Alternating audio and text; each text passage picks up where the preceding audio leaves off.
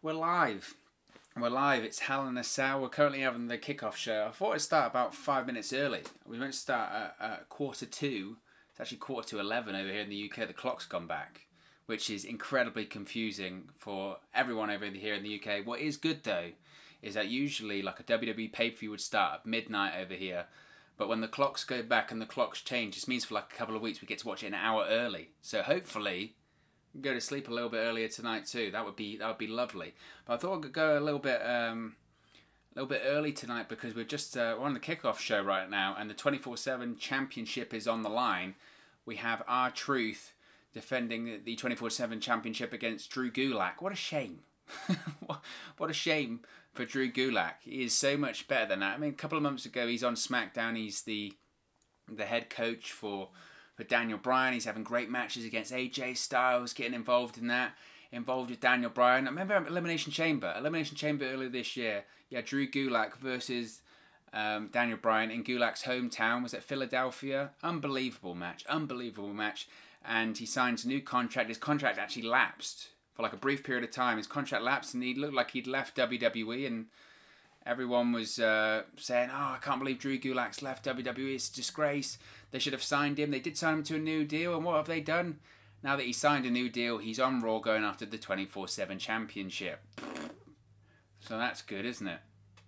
Um, a couple other things that I wanted to make a note of that we've noticed on the uh, on the kickoff show already. I don't know if anyone out there is actually watching the kickoff show, but Elias he's obviously got his match with Jeff Hardy tonight at Hell in a Cell. Elias came up uh, as the the panel there at chatting. So on the panel, you've got Charlie Caruso, you've got Jeff Jarrett, you've got Booker T, and you've got Jerry the King Lawler, and you've got Peter Rosenberg. And Elias comes out and he's talking, you know, doing his song about uh, Jeff Hardy, about Jeff Hardy tonight, and he sings this song to Jeff Jarrett as well, and says Jeff Hardy and Jeff Jarrett it looks like Jeff is Spanish for junkie. And obviously, both men, Jeff Jarrett and Jeff Hardy, have had their issues with alcohol and substances and things of that nature. And I will tell you, Jeff Jarrett did not look happy. I mean, legit, he looked very, very angry of that. And even afterwards, they came back. I think they went to like a little commercial. They come back, and uh, Jeff Jarrett was still not happy. he was really not happy with that junkie comment. And uh, to be honest, why would she be happy with that? I mean, you've you've got this, you've been battling with these with these issues and these demons for however many years. You've had to go to rehab, and in Jeff Jarrett's case, he lost his job at Impact because of that. And I'm sure of all the personal things and strains that that put on it. And then you've got a comment by some jabron like Elias uh, making making light of that. I don't know. It didn't look like he knew that that was coming. He didn't look happy. He didn't look happy, and I'm sure people will say, "Well, storyline, storyline." I saw. this is how crazy it is. I saw someone put a comment on social media. They went, "Well, he's obviously just uh, Elias is just getting his own back from the Royal Rumble." Remember when Jeff Jarrett came out of the Royal Rumble? I look at that. I go, "Are you crazy? Are you, you do not realise it's a work?" I mean, I wish, I wish I was, you know, that far back. You know, when you're a kid and you're watching wrestling, you believe it's all real and how great that is. You know, you really. I remember, I think the first WrestleMania I watched was WrestleMania 18. I did watch the one the previous year, but that was way after the fact. But the first one I watched, like the build up to it, and the first one I watched was WrestleMania 18. And I remember I was such a big fan of the Hardys and I was actually devastated that they lost their fatal four way tag team match at the time because I really believed at the time, I believed it was real. So I was devastated that they lost. And I was seeing that comment on Twitter and I was, oh, it took me back. It took me back and I believed when I believed and I wasn't so cynical to this pro wrestling malarkey. But we've got R-Truth now doing John Cena's five knuckle shuffle, shuffle onto Drew Gulak. I, I wish we would actually see more matches for the 24 7 championship. Because I don't know about you, I'm, t- I'm tired.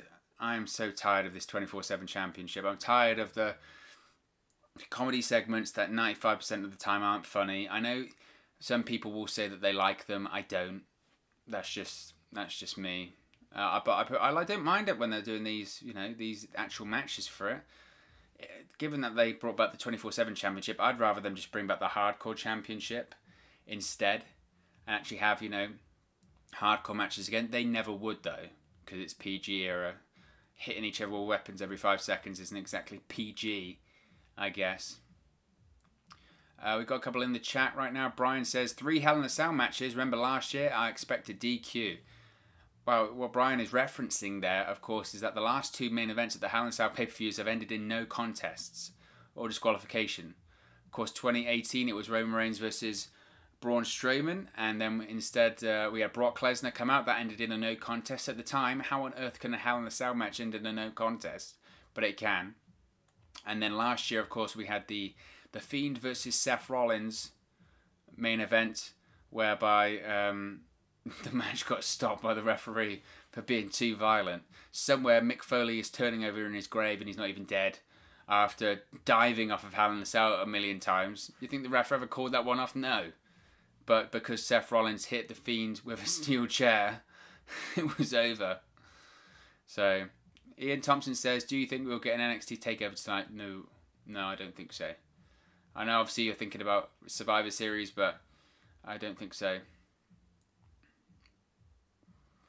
So R-Truth has just retained the 24/7 championship, and he has the Lucha House Party, Akira Tozawa, and Drew Gulak, aka 2020's version of the Job Squad, going after R-Truth. Drew Gulak has just said that John Cena sucks. So there we go. So that was the match on the kickoff show. That was a lot of fun. I, I, you know, sarcasm. I just spoke the whole way through it because that was that was what that was. As we go back to the kickoff show, so let's go through the the card for tonight. I should have prepared and got the card up first. But the uh, let's go through yeah let's go through the card for tonight's show. We of course have the WWE Championship on the line uh, in a Hell in a Cell match. We have Drew McIntyre defending. We have Drew McIntyre defending against Randy Orton inside Hell in a Cell. We also have the Universal Championship on the line in an I Quit match inside Hell in a Cell. Universal Champion Roman Reigns defending against Jey Uso. We have the SmackDown Women's Championship on the line. Guess what? Inside Hell in a Cell, you guessed it, as uh, Bayley defends SmackDown Women's Championship against Sasha Banks. We also have Jeff Hardy facing off against Elias, continuing their feud from Monday Night Raw. We also have Otis uh, defending his Money in the Bank briefcase against The Miz. The winner of that match will become the official holder for the Money in the Bank briefcase after the Law and Otis segment this past Friday on SmackDown. Interesting to see who leaves with the Money in the Bank briefcase there. We now have a promo with Mustafa Ali on the kickoff show. Be interesting to see what happens in terms of this Fiend versus Retribution storyline that they have been teasing recently. You notice that they're not calling him Mustafa Ali, it's Mustafa Ali now. I don't know about you, but I do find it difficult to believe Mustafa Ali as a heel, considering what a great guy everyone knows he is. But I do, I and I made a video on it. People were unhappy that Ali tied in the the SmackDown hacker gimmick into this. I'm glad they tied it off. I'm glad they tied it off. I'm glad I don't like loose ends.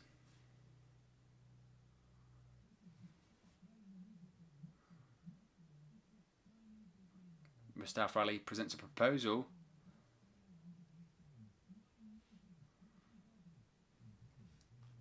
He's present presenting an idea that seems one of Retribution.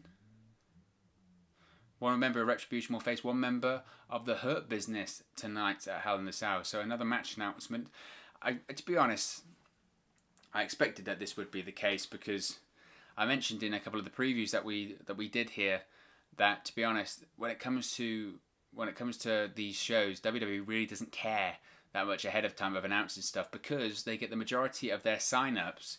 They get the majority of their sign-ups um, the day of or the day prior to the event going on the network. So it's not like it was back in the day. They don't have to really sell you that much on um, the card because they know you have the network anyway, or they know people will sign up for the network on the Sunday anyway. So it doesn't um, it doesn't really bother them that much. So that's the case.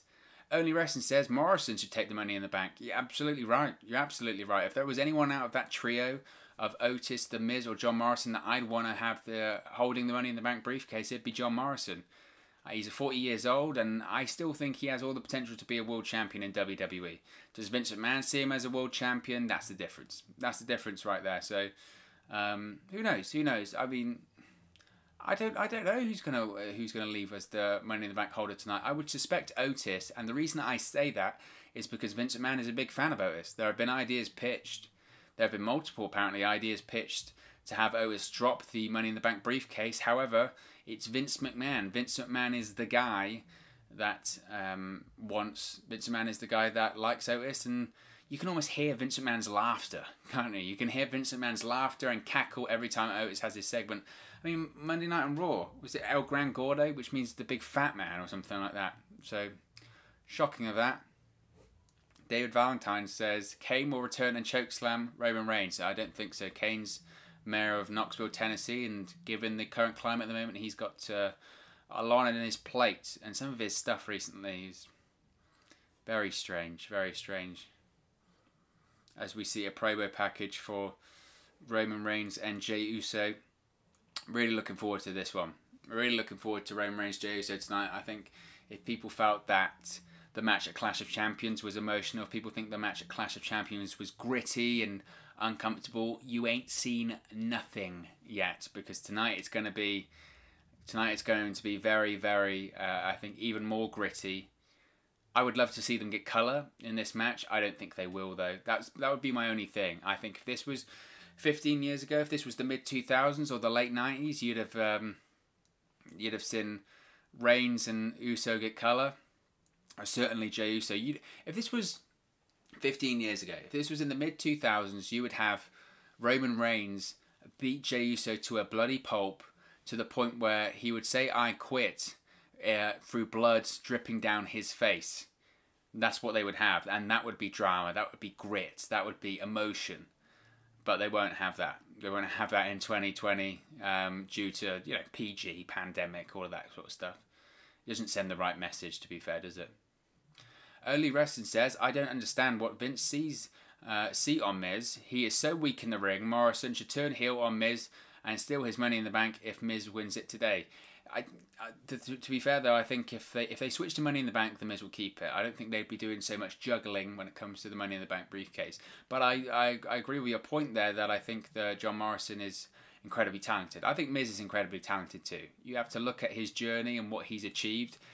People thought he would achieve nothing in the WWE, nothing, and he uh, he is he's overachieved quite frankly, and he is such a, a valuable asset to WWE now. Whether it's in the ring, his experience backstage.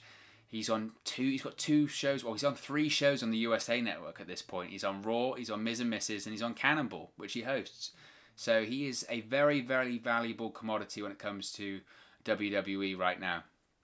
Brian says, Lucky I have three monitors, pay per view on one, Warzone on the second, and two weeks till Cold War. I'm guessing that's a, a Call of Duty thing. I haven't played Call of Duty in years, mate. Uh, Manos Manos says Morrison should should face Otis today. Miz already had a bad reign as WWE champion.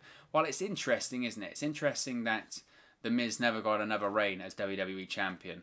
You could argue at the time was he ready? I think today's version of the Miz is more ready to be a WWE champion than 2011's Miz was. I think the Miz was also unfortunate, if you think about it at the time, is that he was a third wheel. He was a third wheel. That WrestleMania 27 that he main evented, even though he won, that was all about The Rock and John Cena. That was laying the groundwork for their match the following year at WrestleMania. People almost forget about the Miz because he wasn't important. He wasn't. He wasn't important in all of that.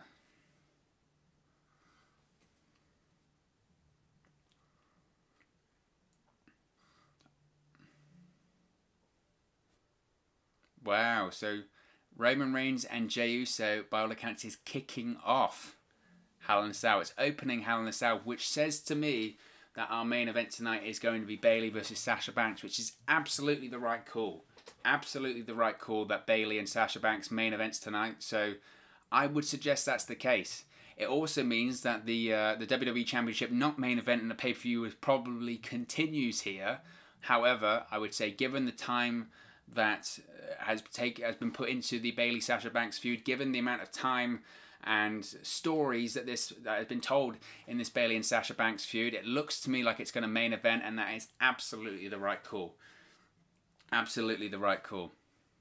So we're about two minutes, just two minutes 30 or so away from Hell in Cell going on the air. We'll be doing a watch along for the entirety of the show. If you are new to the channel, be sure to subscribe. You can do that, click in the bottom right hand corner. If you're excited for in a Cell, smash a like on the like button as well. Um, super chats are open as well. You can do that by clicking the dollar sign in the chat. Any donations to the channel are greatly appreciated.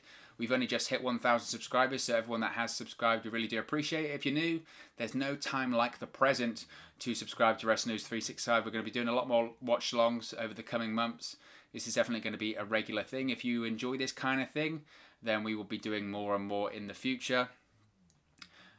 Manos Manos says John Cena versus Miz was a weak match. Generally, Miz uh, matches are most of the times under 3.5 stars.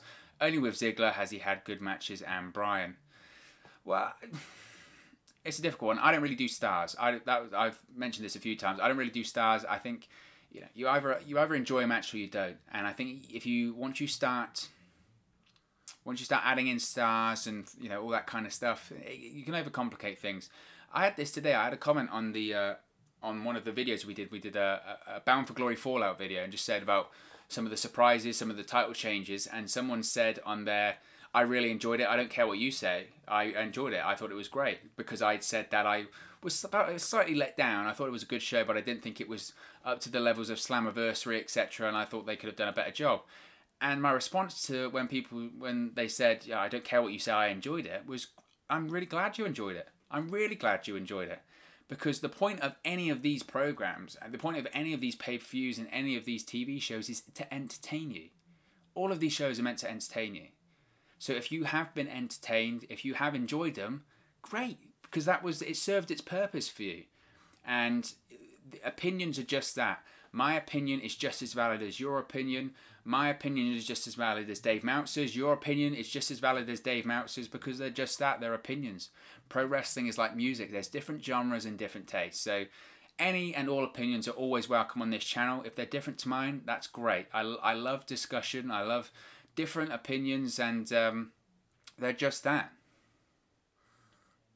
David Valentine says, Can Roman Reigns tell Jey Uso from Jimmy Uso apart? Reigns could be wrestling one and think it's the other brother he's wrestling. You can tell them apart.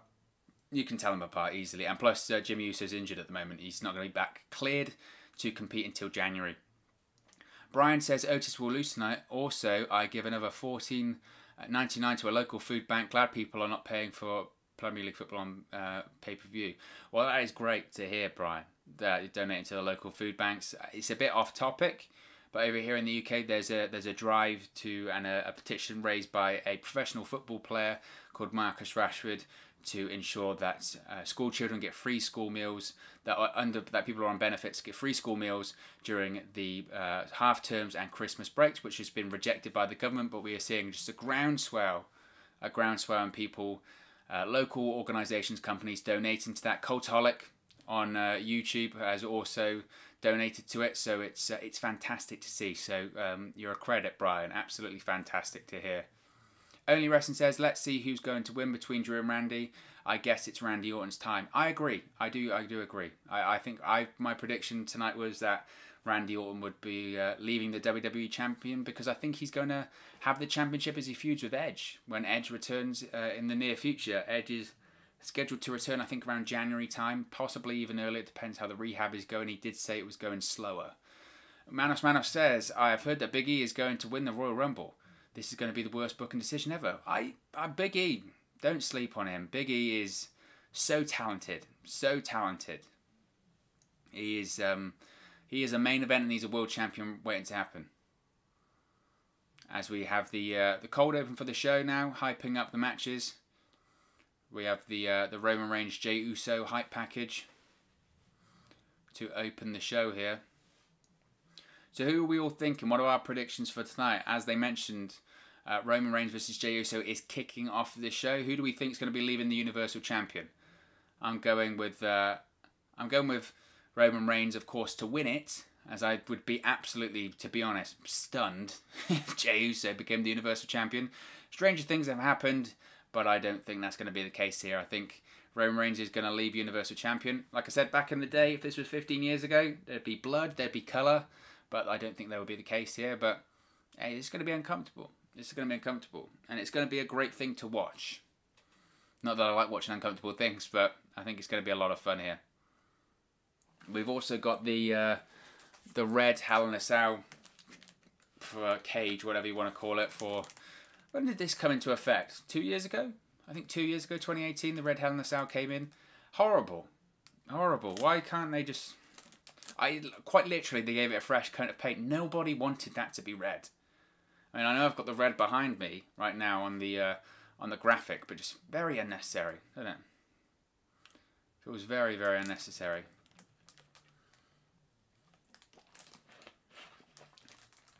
What's that stuff they've got tied up there? If you can see that on the uh, on the stage, looks like they got something tied up over it. I don't know if that's meant to be pyro or for the drones or strange. It's always great to open an event with pyro as well. Awesome.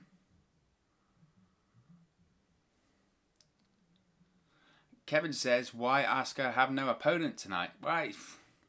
There's only, what, five matches announced for the show. Uh, technically six, now the Retribution Hurt Business one. But you're right. You're right.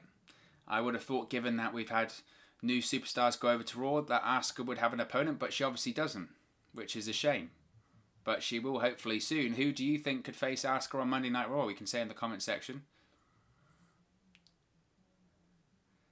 Uh, Manos Manos says about Big E that he doesn't. Uh, they don't think that people will take them seriously after his funny gimmick. Well, I, there is um, the report that Big E is not going to be dropping the New Day gimmick, but he's going to be getting more serious, which is in preparation for him jumping to that next level of the main event scene. So they're going to they're going to give it a go.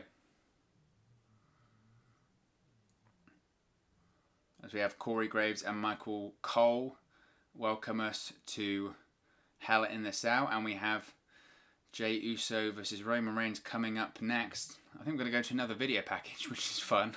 we just, well, I mean, what, we're five minutes into the show and we're going to have another video package.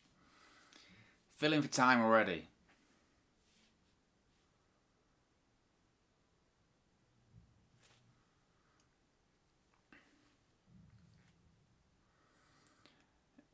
Kevin says Nikki versus Asuka. Um, Nikki, I think is Nikki Cross. Oh yeah, she was drafted to Raw along with Alexa Bliss. Of course, Alexa Bliss.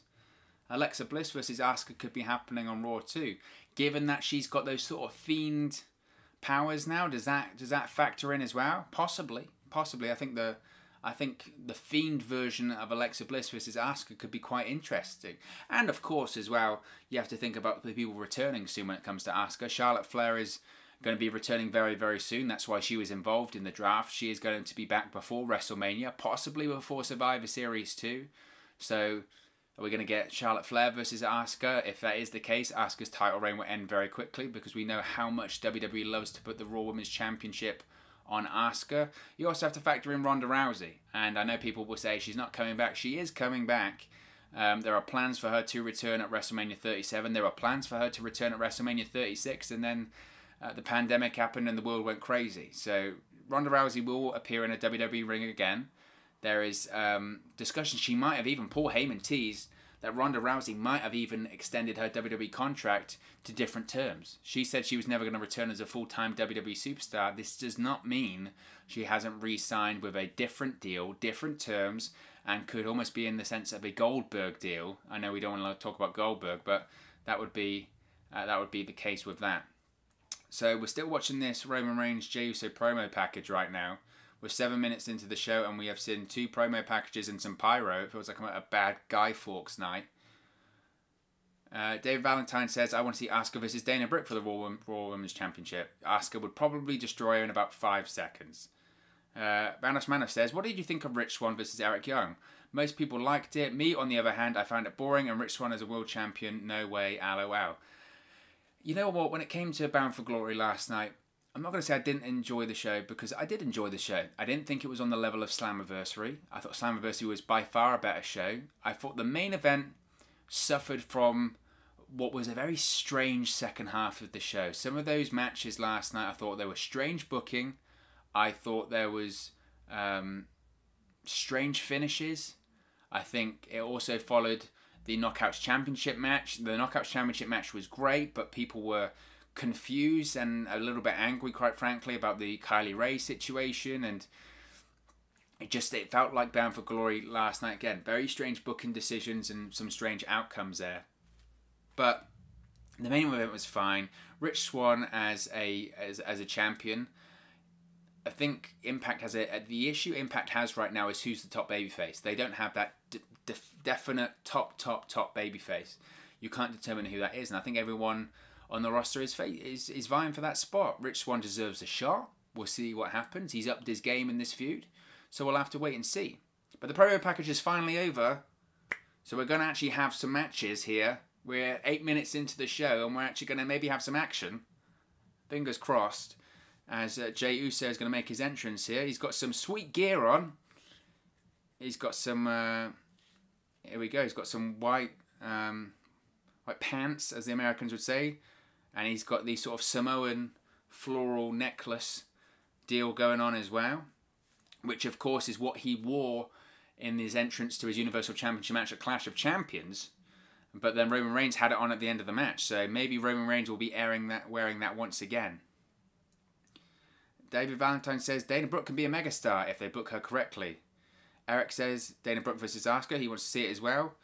Uh, Green Spartan 44 says when does Roman fight? Absolutely right now. He's going to be fighting right now.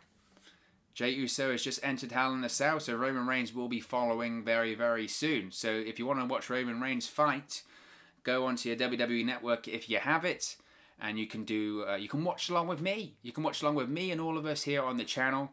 Be sure to subscribe to Wrestle News 365. We'll be doing a lot more watch alongs in the future. Um, if you enjoy this kind of thing. Well, Jey Uso did have the neck, neck floral neck thing on. He's just destroyed it.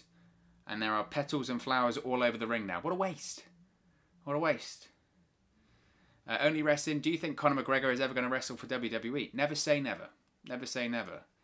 Um, it's one of those things where he always knows WWE will pay him that green. If he ever wants to do it, uh, but WWE would have to pay him a lot of money. Ever since he had that fight with Floyd Mayweather, his his asking price is, I mean, it's, it's off camera. It's all the way up here. Does WWE have the uh, the will to pay that? They've got the um, Roman Reigns is just making his entrance, and uh, they've got that weird gold bronze Roman Reigns thing that always makes his entrance, and it's just very odd looking. Very odd looking. It always really puts me off. I think it's terrifying. But here comes Roman Reigns. Roman Reigns, slight gear change, of course, that he debuted at Clash of Champions. He no longer has the vest. He's ditched the vest. He's um, yeah, ditched the vest, so he's wrestling shirtless now. Uh, which, to be honest, Roman Reigns is, I mean, jacked beyond levels. He is absolutely stacked that time away from the ring has done him favours because he looks in unbelievable shape. Unbelievable shape. Um, he's also got it looks like a like a gold sort of glove on. He looks like Thanos. Roman Reigns is gonna snap Jey Uso out of existence tonight. It would seem. Now Jey Uso also, as I mentioned, is wearing white. So I mentioned about wanting to see some color in this match, and someone doing a blade job. Now we saw at uh, Bound for Glory last night, Moose did the same thing. Moose wore all white. Why did he wear all white? Because EC3 did that blade job. He did one, two, three. EC3 marks on his forehead, and he bled all over Moose and all over his white gear. I'm just saying, Jace is wearing the white gear tonight. Maybe we see a bit of uh, bit of blood on there too. I think that would take that match from here all the way up to here. That would be a lot of fun. Kevin says, What on earth is going on with the women's tag division? Every tag division, every tag team they have, they break up. Kevin, it's a, it's a deal not only with the women's tag team division, but with the tag division in general in WWE. It's never been a priority, unfortunately. Brian says he went to bed early after Bound for Glory ended. He's supposed to go on holiday in Australia, but we're doing I'm a Celeb in Wales and Castle this earlier this year. Oh, there you go. Uh, Eric says Lacey Evans versus Asuka, naming opponents for Asuka to face. Only Wrestling says only Conor McGregor could boost the ratings. Nothing could boost the ratings right now. WWE's ratings are dying. Absolutely dying, and they have been for a very long time. As we see another, we've got another, it's not a promo package, but it's the interview that Paul Heyman did on the kickoff show. So we're 12 matches into the 12 minutes rather 12 matches i wish we're 12 minutes into the show right now and we still have not had the opening match kick off we are uh, we are certainly filling for time let's go let's go to the universal championship graphic i want um i want new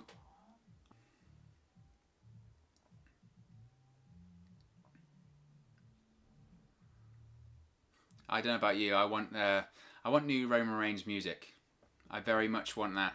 I think this whole heel transformation, this whole heel transformation is going to be complete once you know we've got different attitude, different look. Roman Reigns now, different ring gear. You need different music. Once you get that different music, then we're going to have something cool. But it is coming. Roman Reigns, he did a, I think he did like a Zoom call or something like that. If you before it was before Clash of Champions, he did a Zoom call and he basically said, you know, comes to new gear, comes to new music, it's coming. And there's a lot of new music coming for superstars at the moment. Keith Lee, he's getting new music again. Thank Lord. Because he, uh, his music is awful. Leandro says, "Are we able to watch?" I, I, Leandro man, I wish, I wish I had the rights to show you Hell in a Cell, but I don't. if I showed you it, we would get kicked off of YouTube, my friend. If you want to watch uh, Hell in the Cell, just go to the WWE Network. If you're a new subscriber, you get it for free and you'll get Survivor Series free too. It's a pretty good deal and it's only nine ninety nine a month. I don't work for WWE, but it is a good deal. Uh, Only Wrestling says Lacey Evans is so underrated. She should be Women's World Champion very soon. She might be on Raw. Maybe that's why she was moved. Eric says Jey beat Roman. So what are we predicting for this one, guys? Who we think is going to leave the Universal Champion here? Do we think it's going to be Roman Reigns or Jey Uso? Roman Reigns certainly a heel there. Um, I think obviously he is a heel, but there's been discussion about how much of a heel he really is. But if you notice the Thunderdome there, they are very, very produced, by the way. The guys are in the Thunderdome. If you've ever been in it yourself, you will know that you hear a producer essentially telling you when to boo, when to cheer, when to clap. It's like being in a studio audience. And they're obviously being told there to boo and put thumbs down for Roman Reigns. So we're finally well, we're underway. The bell has rang 15 minutes into the show. 15 minutes into the show, we finally have a the bell ringing for a match on a wrestling show. Thank Lord. But it feels like, you know, it feels like there's a major sort of stalling here. This is crazy. And when was the last time we had a pay per view where the first 50 minutes nothing happened? I mean, I've, I've seen promos, but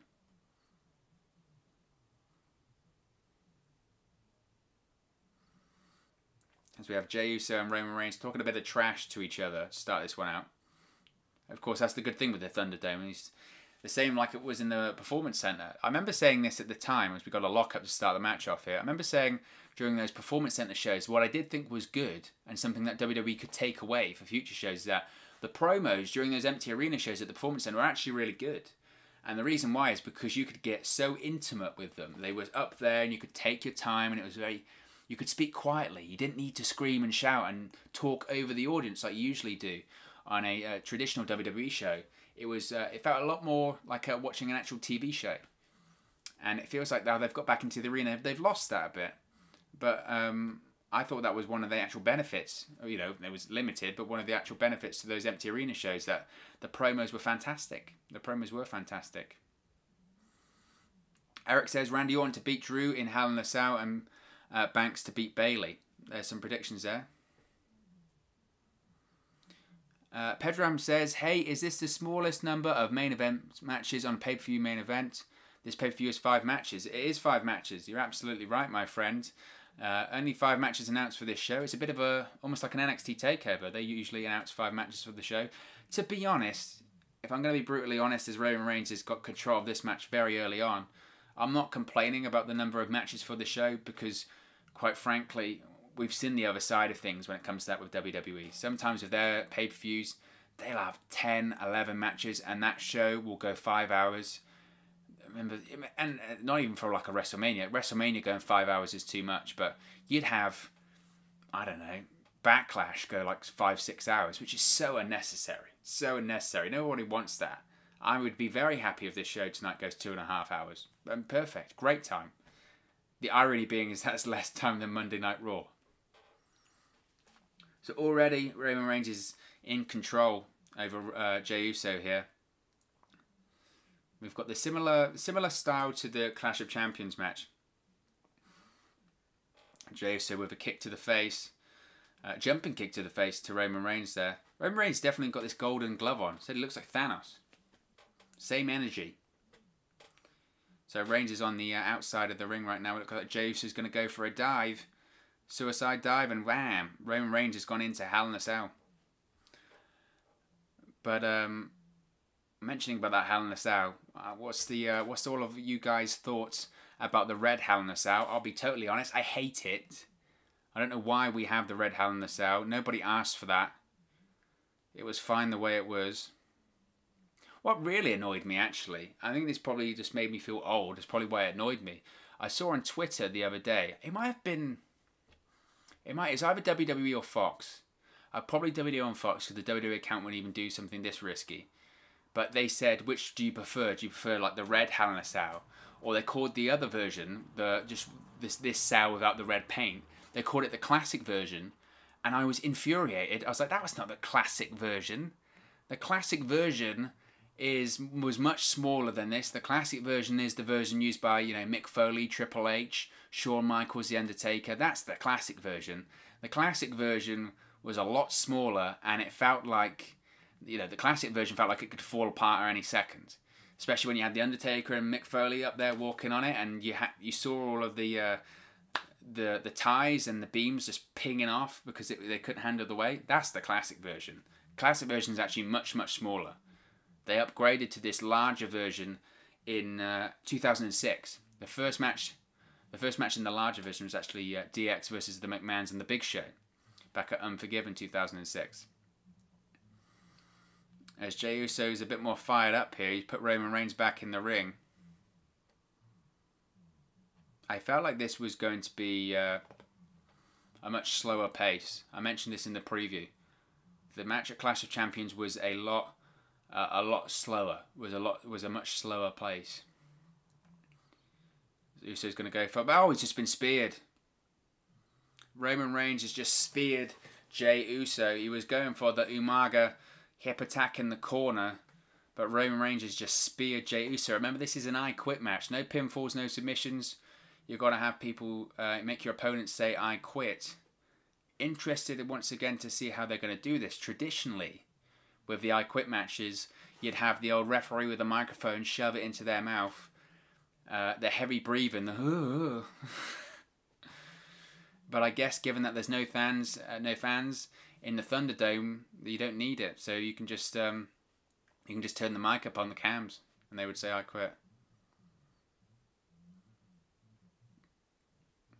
as Roman Reigns is talking trash to Jey Uso, saying you should have stayed at home. I don't know what I, think about that that gold. I've mentioned it a couple of times now, but I don't know what I meant to think about that gold, gold sort of gauntlet that Roman Reigns is going for. Yeah, he, he does legitimately look like Thanos. If he had like a, a funny chin, he would literally be Thanos. Maybe he's going there with the teeth. His teeth are crazy.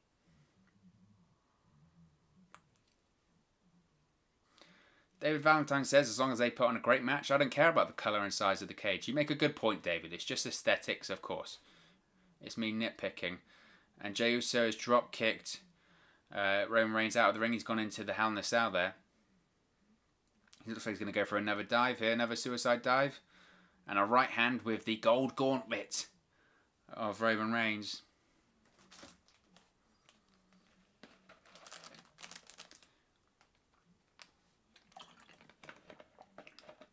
Well, bang. Roman Reigns has just hit another spear on Jey Uso, and this one was uh, was brutal. this one was a spear. Uh, not so much a spear to the gut, it was almost like a shoulder tackle. I think they're going to show it again here. So Jey Uso drop kicks Roman Reigns into the cage. He goes for a suicide dive. Roman Reigns hits him with a like a forearm to the face, and then Reigns hits a spear. Bang! And he sort of jumps up and comes down like that. Jey Uso doesn't move. He just drives him to the mat. Nice spear. Who has the best spear? That's a question. Roman Reigns doesn't have the best spear. I think arguably, and I know I give him a lot of a lot of a lot of crap, but I suppose Goldberg actually does have one of my fa- more favorite spears, in the sense that um, he just kills people. Which I mean, I like a bit of realness. He does, but it does. I can imagine that absolutely hurts because his spear is legitimately a tackle. I always felt that um, Batista had a good spear as well. And the Big Show. I remember the Big Show did a spear once to Evan Bourne on Raw, and it legitimately looked like he broke him in half. It was awesome. Reigns going to go for another spear. He's going to hit it. Oh, kick to the face there by Jey Uso. Stops the spear. We go. Super kick bang to the face of Roman Reigns. Uso looks like he's going to go for another splash. Here we go. Bang. Uso splash by Jey Uso. What's interesting about this, and I suppose is the issue for an I Quit match, is that from a from a psychology point of view and a storytelling point of view, this is probably benefit that there isn't fans here for this one because of this. Is that it's the same with submission matches. What is so great about a traditional match is you've got the one-two kick out, you've got false finishes, you've got the crowd jumping in on the near falls and all this kind of stuff. The issue with I Quit matches, the issue with submission matches, maybe table matches as well, is there's no drama of the false finish. I suppose maybe with table matches there is a false finish and that they look like they're going to go through the table, I suppose, but with I Quit matches, the story has to be told in a different way. The story has to be told in the drama of the, the facial reactions, the body language. Does it look like they're going to say I quit? Uh, are they on the brink of saying I quit? All this kind of stuff. That is that is difficult.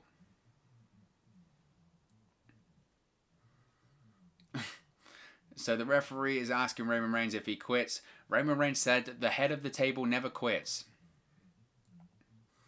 If I was a referee and someone said that to me, the head of the table never quits, I'd just be like, what's wrong with you? just say no. That takes way more effort. That takes way, way more effort to say the head of the table never quits as opposed to no. Imagine saying that when you go to, I don't know, the shop. Do you want a receipt? The head of the table never wants a receipt. Okay, all right. Don't give you one then. Jey says, grab something from under the ring there. It's a leather strap from Jey Uso there.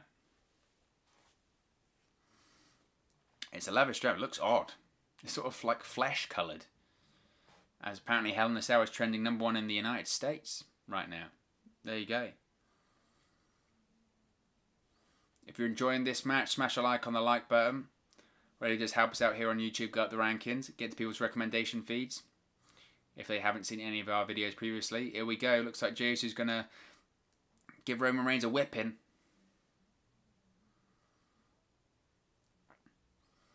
So sort of a whip to the back there with that leather strap on Roman Reigns. Jey Uso is cussing up a storm as well. He just said, dog, you know what. I would probably want to mention to Jey Uso, usually the crowd might, you know, overcome what you're saying. We can hear every word you say. Bang, he's going to do another whip. Oof. Oh my god, another spear. That's the third spear by Roman Reigns in this match. A couple of whips by Jey Uso, and Roman Reigns has just speared him once again. Roman Reigns is going full. Um, Roman Reigns is going full Brock Lesnar and just using his finish all the time like a regular move. Jey Uso is saying he can't breathe after these spears. He's selling the hell out of the spears. The referee is asking him if he quits. If he quits after a uh, three spears, I think he would be a bit of a um, we get the replay of the third spear there by Roman Reigns. Now Roman Reigns has the leather strap.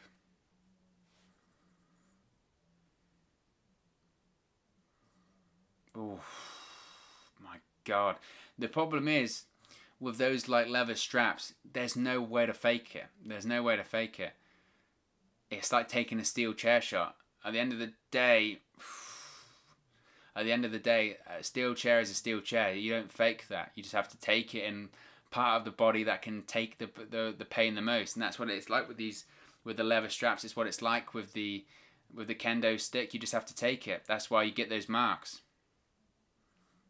It was the same with Dominik Mysterio. Remember with Dominik Mysterio and Seth Rollins, and the bang again uh, with the with the kendo sticks. I saw people saying, "Ah, oh, makeup." Are you kidding me? You get in the ring. You get in the ring and you take that and see how fake it is and see if it's makeup.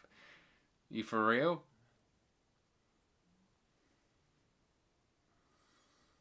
Roman Reigns has uh, tied the leather strap around the wrist of Jey Uso there.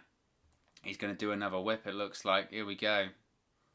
Man, these look and sound painful.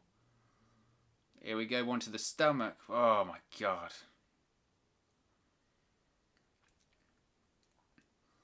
But this is what I said to expect. This is what I said to expect in the preview that we did on the channel is that if you felt that the match at Clash of Champions was uncomfortable, if you felt that the the, the match at Clash of Champions was was slow and it was about drama and about emotion and making you feel uneasy, then you just wait for this one because this one is going to make that uncomfortable nature. It's going to make that difficult to watch nature. It's going to make that you know grit your teeth and oh that's that look that looks and sounds painful. It's going to take that up a level, and that's exactly what they're doing right now with these whips. We're going to be getting the pictures on social media later of all the whip marks on the back of Jey Uso and Roman Reigns.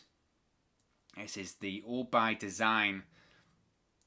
As Jey Uso is holding on to the ropes, but Roman Reigns is going to pull him into the ring because he's got that leather strap wrapped around his wrist. But Uso's got a bit of a forearm to the face there of Roman Reigns. Roman won one of his own. This has turned into almost a bit of a strap match. You got how many variety of matches we've got? We've got three matches in one here. We've got a Hell in a Cell match. We've got an I Quit match, and we've also got a uh, a strap match. A super kick though there by Jey Uso to uh, Roman Reigns. Reigns gone for the Superman punch, but he missed. He's using the strap. It's just literally turned into a strap match.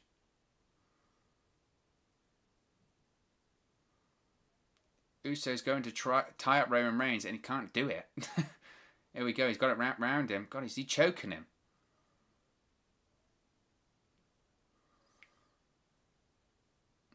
Jey Uso's got him sort of tied up. He's got his arm tied around his throat, but he's actually got the leather strap tied around his throat. Man, this is literally turned into a choke. It's if this is um, if this is if this is Daniel Bryan in in 2010, he's getting fired. This was the same thing that Daniel Bryan got fired for when he did this on Justin Roberts. But Jey Uso is doing it on Roman Reigns right now as I mentioned, what is very confusing here is that this is turned into three types of match in one. This is a Hell in a Cell match, this is an I Quit match, and this is also a strap match somehow. Which is very odd. But Jey Uso is legitimately trying to kill Roman Reigns on uh, pay per view as we speak right now because he is trying to choke Roman Reigns. The referee is asking Roman Reigns if he quits, but Roman Reigns is motionless here. He said no, I think.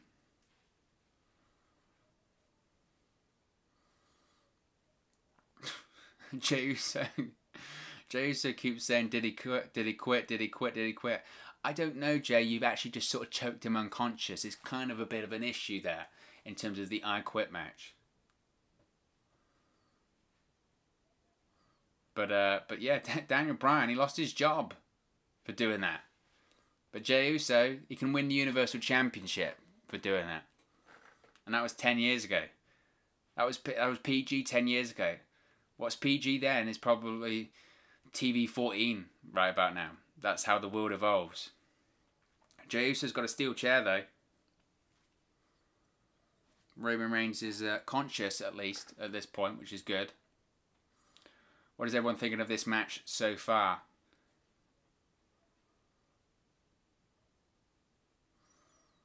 Jey Uso is uh, is he sitting down on that chair? I mean, it's time to take a break in the match. Why not? Now he's got the steel chair. He's going to use it as a weapon. Here we go. He's going to swing it and a Superman punch by Roman Reigns. Reigns is going for that. He's going for that guillotine submission. Here we go. This is submission that he beat Braun Strowman with on the season premiere of SmackDown a couple of weeks ago. Perfect for an I Quit match because if he taps out or he says I quit, that's it.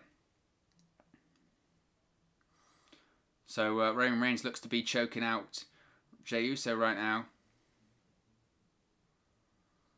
Is the referee going to say it? Jey Uso's unconscious, it looks like.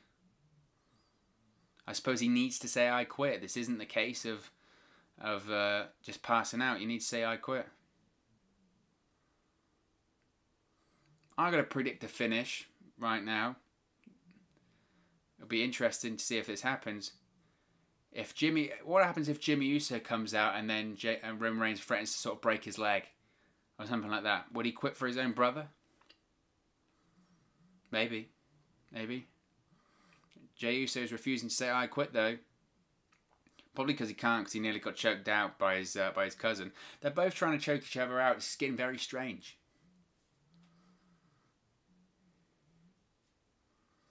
But he didn't say I quit there, Jey Uso. So Roman Reigns is trying to figure out what's going on next. But it's the same. This is what I mentioned in the preview. Uh, not to toot my own horn, but toot toot. Because uh, this is what I mentioned in the preview. The, the nuts and bolts of this match are actually very basic. If you were to grade this match on technical ability and technical wrestling, it's it's not a classic at all. But it's the emotion. This is the same as the Clash of Champions match. It's about the emotion. It's about the story that they're telling here. The nuts and bolts of this match are very, very basic because they don't need to do anything. They don't need high spots. They don't need it. It's all about emotion.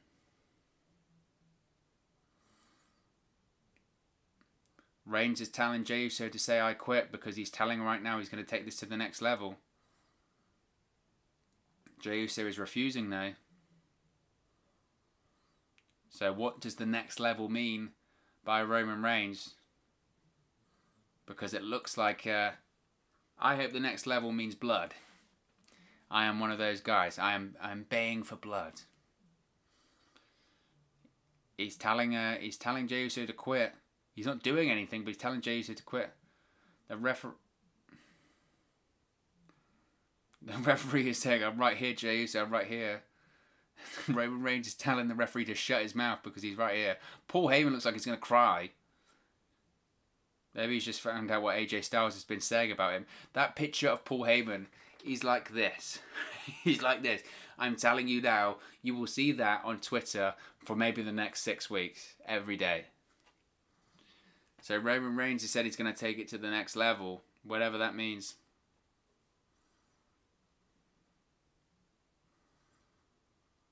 Roman Reigns is being incredibly methodical here.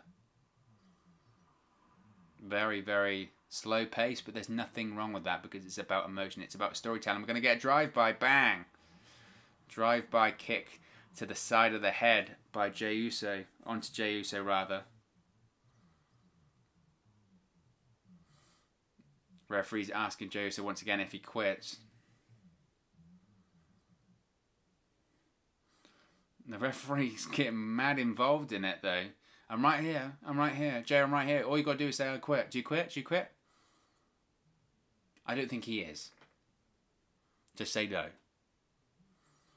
Let's see a replay of the drive-by kick there.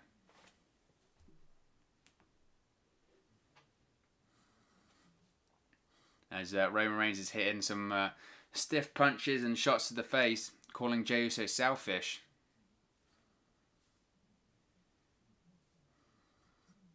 Roman Reigns is uh, he's grabbed the steel steps now. I wonder what this next level is by Roman Reigns.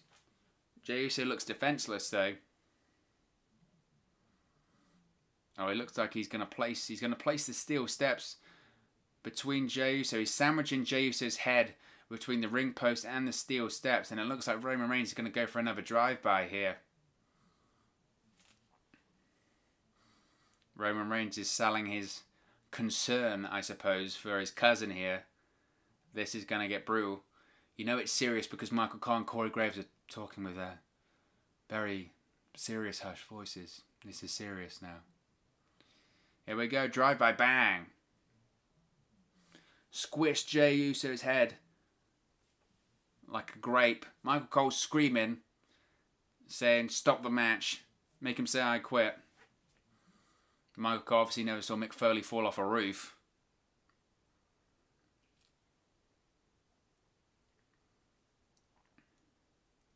I, I will say here, and this is starting to annoy me a bit, the ref needs to stop pressuring Jey Uso. He's, he's almost trying to tell him to say, I quit. Just say it, just say it. You can get out of it, just say it. Just, do, just stand back. If he says it, he says it. Stop telling him to say it. Stop saying, oh, if you say it, say it. No. The referee needs to stop telling Jey Uso to say it.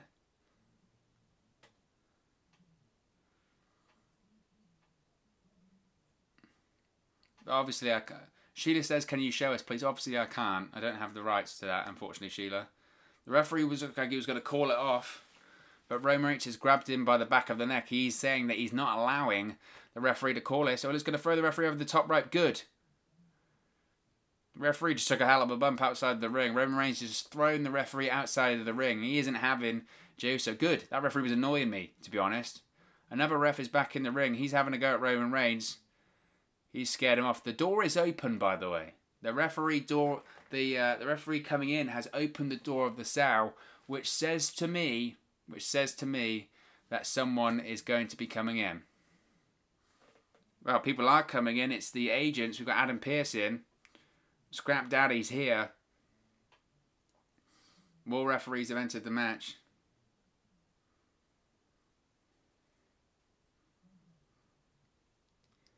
I, I mean, are we, are we seriously doing this? Are we seriously doing this? The third year in a row, they're trying to stop a Hell in a Cell match for reportedly being too violent. Did they never watch Mick Foley or Mankind versus The Undertaker from 1998? Have they never see that before? Are you trying to stop another Hell in a Cell match? Are you kidding me? They are destroying the Hell in a Cell. Roman Reigns tried to throw uh, the steps in the ring, didn't make it first time. And it's just, just oh, this just annoys me so much. When they're trying to do this again, trying to stop a Hell in a Cell match. Are you for real? Saying that it's got too violent. This match is. If you look at other Hell in a Cell matches, this isn't violent by any stretch of the imagination. In terms of violence, this is actually quite limited. In terms of other Hell in a Cell matches, you look at Triple H Hell in a Cell match. They got screwdrivers. They're stabbing each other in the head. Roman's got Jey Uso pinned with the steel steps. You've got agents on the outside telling him to stop. They need to get a life. And you realise the match. If the match is too barbaric, don't book a pay per view. You morons. Honestly.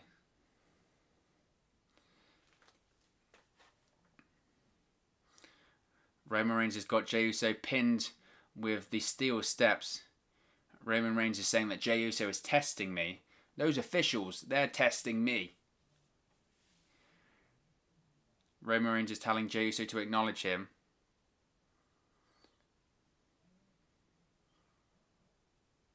Roman Reigns is saying how serious it is being at the top, being the Universal Champion.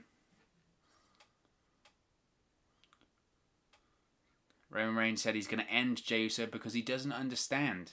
I tell you who doesn't understand is the officials and referees about what a Hell in the Cell match is. Because they're trying to end it because a guy's unconscious. Here we go. Roman Reigns has picked up the steel steps. Looking like he's going to squish his head. Jimmy Uso's in the ring. Jimmy Uso is laying on his brother Jey, Telling him to stop. Jimmy Uso looks like he's crying and he's over his brother Jey. He's asking Roman Reigns what's he's doing.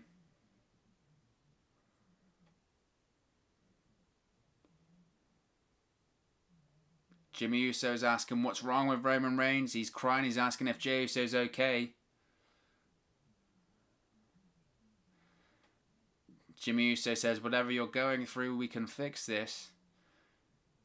This is uh, it's getting emotional. This is getting emotional. This is getting this is getting to another level, isn't it? This is getting emotional and uh, again they're doing what they did at Clash of Champions. They're trying to show grit. They're trying to show drama. Roman Reigns is crying. Jimmy Uso is telling Roman Reigns to look at him. And Roman Reigns is sat in the middle of the ring and he's burst into tears. This is uh this is taking a turn I didn't see coming. Jimmy Uso says, whatever you're going through, we can get through this. And Roman Reigns is just crying. Roman Reigns says he doesn't even know who he is. And he's apologizing now. This is crazy.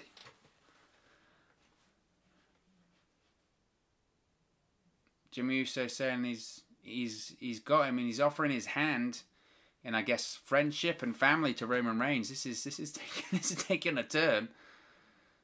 And Roman Reigns is still crying. I mean, it's unbelievable performance by Roman Reigns. Absolutely incredible. Reigns saying, I don't know who I am anymore. I'm crying. And he's taken the hand of Jimmy Uso. Maybe in a sign of family. I would be quite worried, Jimmy, about what's about to come to you. Because here we go. And he's locked Jimmy Uso into the uh, the guillotine there. The injured Jimmy Uso is in a guillotine right now. Jimmy Uso still injured, of course, not cleared to return till January, but the injured Uso is being choked out. And he's he's got the hand of Jey Uso. He's trying to revive Jey Uso. Jey Uso is woken back up. And he's trying to he's trying to pull Roman Reigns off of Jimmy Uso. And there we go. Jey Uso just quit to save his brother. Something that I just said maybe about 20 minutes ago. If you want to rewind, I said maybe he would quit to save his brother. All I'm saying, up here, up here. But Roman Reigns wins the match, and Roman Reigns is still the Universal Champion after Jey Uso quit to save his brother Jimmy. After Roman Reigns had locked Jimmy Uso into the into the guillotine. I'm stumbling on my words there because Roman Reigns has a look of pure evil on his face right now. Oh my god. Man, he looks evil. Man, what facials by Roman Reigns right there. The dude was crying a minute ago. He was crying a minute ago. And now he's doing a face of pure evil. I mean, this guy, this guy, this guy's acting ability, this guy's range of emotions he's put himself through and he's put the audience through in this match. What a performance by Roman Reigns right there. My oh my. Look at this guy's face. Incredible. And he's got his hand out while he's requesting the Universal Championship from Paul Heyman. Look at this guy's face. Absolutely fantastic the the the storytelling, the emotion of that finish, the performance by Roman Reigns there is just, I mean, out of this world by Roman Reigns. Roman Reigns broke down in the middle of the ring in tears, crying, saying he doesn't know who he is anymore. He then locked in the guillotine on Jimmy Uso, forced his cousin to quit to save his brother, his twin brother, and now Roman Reigns, with no tears in his eyes, he wipes the tears. He's just wiped the tears, the fake tears out of his face. Roman Reigns. And now he's just told them that he loves him. Ah, oh, my God. That is that is brilliant. That is absolute brilliance by Roman Reigns. Nobody, I mean, try anyone else in the world, try and touch that performance by Roman Reigns. Try and touch that emotion. People can say a lot of things about Roman Reigns, say that he's not the guy, say that his performance is all of this, saying he can't work or his matches suck. Roman Reigns just did a sports entertainment performance I don't think like anyone has seen. Absolutely fantastic. Roman Reigns is still the Universal Champion after making his cousin say I quit in a match that was fantastic. And there we go. On the stage, there is the Wild Samoas, Samoans. Afa and Sika are on the stage, his uncle and his father.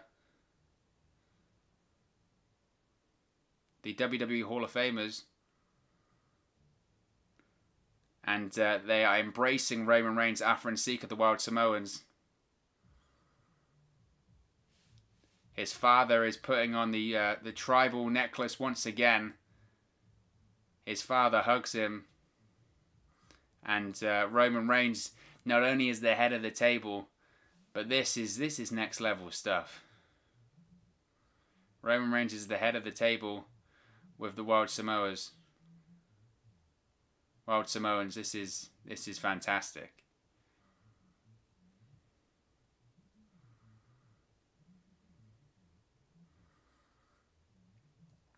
What a picture that is. And of course, the Usos now, because they lost that match, they have been banished from the WWE. They have been banished. Their wives have been banished. Their family, their children, their children's children have all been banished.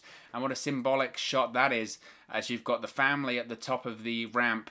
You've got Afa and Sika, the Wild Samoans, standing on the ramp, and you've got the exiled Usos in the ring right now. Brilliance. Absolute brilliance. How fantastic was that? Roman Reigns there. My oh my. That was that was something special. That was that was something special. William Blake says, "Is Jey still part of the family or no? He is not. They are excommunicated. They are gone." Uh, Afa and Sika making an appearance as well. Not sure how wise that is during a pandemic. Nevertheless, um, great to see them. Great to see them. Nice touch. Absolutely a nice touch. Um, that was awesome. That was awesome.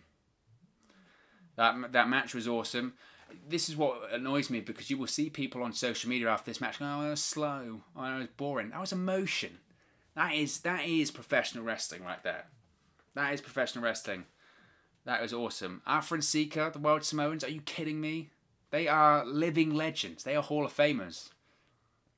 And they're just on the stage there with their son with one son and the uncle. That is that is you just saw history right there. You saw history. That was a moment right there. Awesome.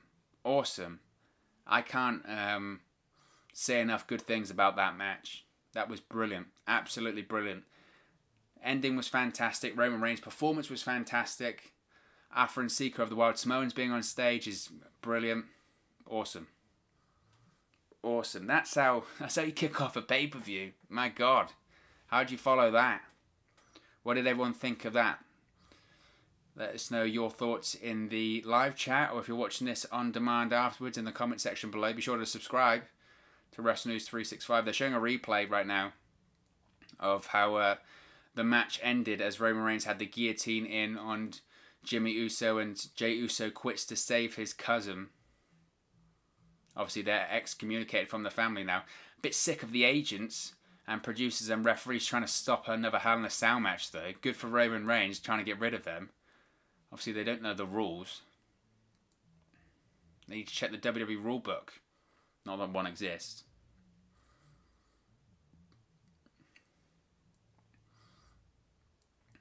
But I thought that was brilliant. I thought that was absolutely brilliant. We've got Tom Phillips and Samoa Joe and Byron Saxton on camera right now.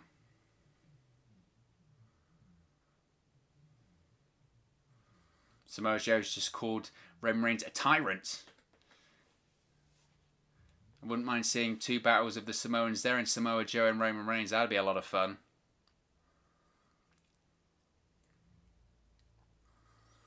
But Jey Uso did quit, so the match was done fair and square. As I mentioned in the preview, though, I don't think this story is done yet. I think there is more to this story. Um, most of the time, usually Hell in a Cell would be the the end of the chapter, as it were, or the end of the story when it comes to when it comes to a storyline in WWE. But I don't think that's the case. You've got a you've got two guys and their family that have been excommunicated from the rest of the family. So uh, there's going to be a lot more left in that story. But we're we're nearly an hour into the show, and there's been one match, one match right now. So uh, I don't think this next match is going to be that long because we're going to need, especially that match was heavy. So I wouldn't be surprised if everyone's a bit more light-hearted now. But we'll have to wait and see. I'm not sure what's going on right now because are we meant to be getting? Oh, it's Elias. That's what we're waiting for. So it's going to be Elias versus Jeff Hardy next. to pick up our spirits after that uh, very heavy match. We're getting Elias versus Jeff Hardy.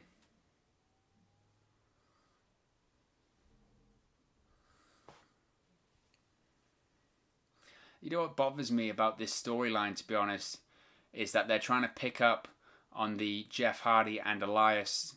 Jeff Hardy, oh, Jeff Hardy ran over Elias with a drunken hit and run deal on SmackDown in the summer during that just horrific storyline with Sheamus, which the less said about that and the more forgotten about it, the better.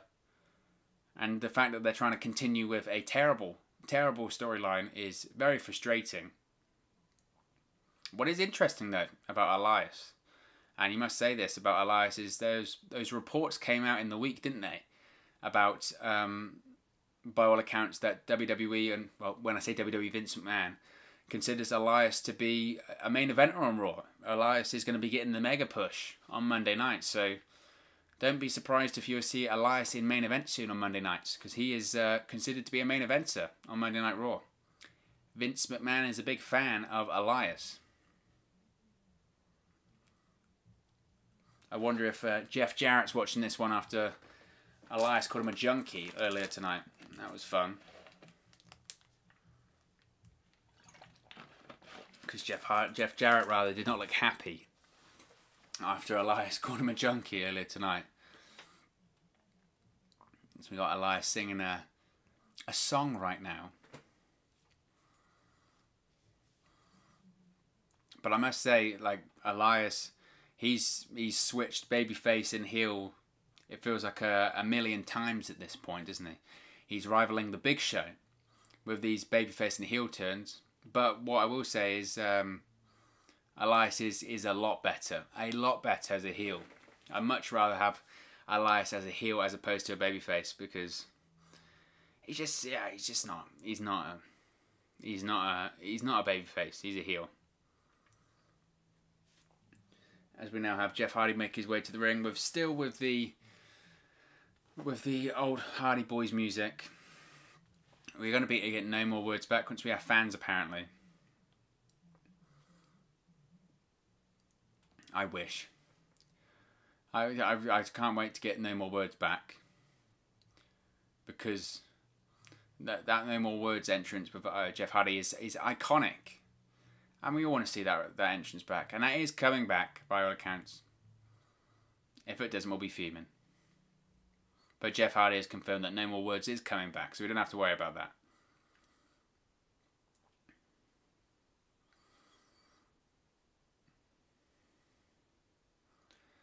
So remember, they're saying, of course, this is meant to be playing on the fact that someone ran over Elias and are doing the hit and run and the police said that the uh, the culprit had was it red hair and a beard. The culprit is still out there. They're saying, oh, the culprit is still out there. Expert police work going on in the state of Florida, right there. As we've got a collar and elbow type to start up here between Jeff Hardy and Elias.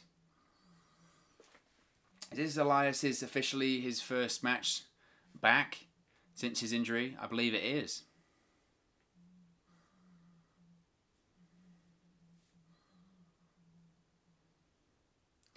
Kevin says, "Can NXT be in Survivor Series again this year?" I think that is the plan. They showed um they showed a graphic of Survivor Series earlier on during the kickoff show, and there was still the same as last year. There was the red, there was the blue, and there was the yellow, which says to me that uh, NXT is going to be involved in Survivor Series this year. It is interesting what difference a year can make, though, isn't it? Because I think if you think about it, this time, this time last year, they were certainly trying to treat NXT as a third brand, weren't they? They were trying to treat NXT like a legitimate third brand. It was equivalent to Raw and SmackDown. Fast forward a year later, it's developmental again. It is developmental again. They barely acknowledge NXT in comparison to Raw and SmackDown calling it the main roster. It's just it's developmental again. WWE, like anything, has already given up on it, and we're only 12 months in. Now, its purpose it serves on Wednesday nights is to take viewers away from AEW Dynamite as opposed to compete with it. It's about hurting it as opposed to winning. Whereas if it moved to Tuesday nights, both brands would flourish, but WWE doesn't care about that as we've got some mat wrestling going on right now between Jeff Hardy and Elias. If you're new to Wrestle News 365, be sure to subscribe. You can do that clicking the bottom right hand corner of the screen right now. Or if you wait a few seconds, wait a few seconds rather, it will be at the end of this video. I'm getting confused with my videos. We've done so many today, that's why. We've been doing um, preview videos today of Hell in a Cell. We've been doing Bound for Glory Fallout videos, which I've really enjoyed talking about. I mean, who doesn't enjoy talking about Bound for Glory and Impact and WWE? There's so much going on right now, isn't there? When it comes to when it comes to WWE and AEW and uh, Impact for anything for that matter. So you have to you have to say it's absolutely uh, fantastic, very exciting. I mean, we're, we're barely underway tonight. We're barely underway. We've only had this is our second match of the night, not including the kickoff show on the main card. Jeff Hardy, we go. Well, flies off it, the uh, steel steps into the barricade there. As we see Jeff Hardy, he's got um, that camera angle there. You could see it. Obviously, Jeff Hardy wears the uh, what they call them, the stretchers in the earlobes there. Jeff Hardy, well, they count it to 10. He just made it back in the ring. Jeff Hardy wears the stretches in the ears, which leaves these, like, real, like, dangly earlobe deals. And uh, I'll be totally honest, they are, like, horrific to look at. they really are, like, horrific to look at. Um, I mean, not, you know, no problem if you wear them yourself, just, they do are a bit funny to look at. And if you're Randy Orton, he likes to put screwdrivers in them. If you're Sami Zayn, he likes to handcuff them or ear cuff them to ladders. So Elias is being vicious with Jeff Hardy, kicking him in the corner right now. Elias going to whip Jeff Hardy off the ropes and a shoulder tackle slash clothesline to Elias there. Elias's lateral press and a two count. It sound like Tom Phillips. Could you ever see Elias being WWE champion? I, I mean, I wouldn't be totally against it. I'll be totally honest. I think Elias could be WWE champion. Sure, why not? As uh, Elias has got a uh, bit of a headlock on Jeff Hardy right now. But of course, we already have had one Hell in a Cell match tonight. We've got two left to go. We've also got uh, Bayley, we've got Bayley versus Sasha Banks in a Hell in a Cell match for the SmackDown Women's Championship, which I think is going to to main event the show. I think. Uh, we also have the WWE Championship on the line inside Hell in a Cell 2 as Drew McIntyre defends against Randy Orton. That will be happening tonight as well. Jeff Hardy is clapping to try and get the um, the WWE Thunderdome universe behind him. Can they actually hear the claps inside the Thunderdome? I don't think they can, can they? I think it was originally pitched, they were trying to say that they could hear potentially some of the noise inside the Thunderdome, but I don't know if that's the case. I don't know if they can actually properly hear anything. Is Jeff Hardy, he's uh, fighting back now. Atomic drop. He's going to go for the uh, heels to the abdomens.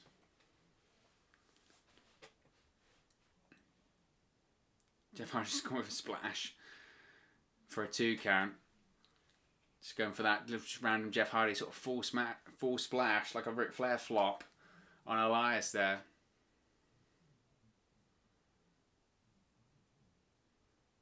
Jeff Hardy is, to be honest, I mean Jeff Hardy, what he's nearly forty now, I think. It's a miracle, quite frankly, at this point when it comes to Jeff Hardy that he's able to walk, isn't it? Yeah, the amount of stuff he's put his body through, whether it is physically or whether it is, you know, substances and all that. It's incredible. Bang! Oh my god. Elias just hit a sit out power bomb and nearly dropped Jeff Hardy on his head. absolutely brutal by uh, by Elias there. And see a replay here. He's got him in an electric chair, spins him around into a power bomb, but just again, nearly stacks him on his neck and his shoulder blades. Man, that looked painful. That looked really painful for uh, for Jeff Hardy there.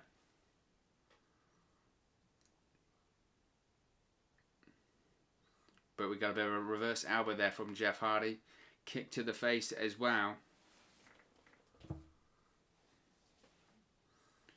we look like we could have a confirmation as to Jeff Hardy's hit the Whisper in the Wind for a two count. We look like we have a.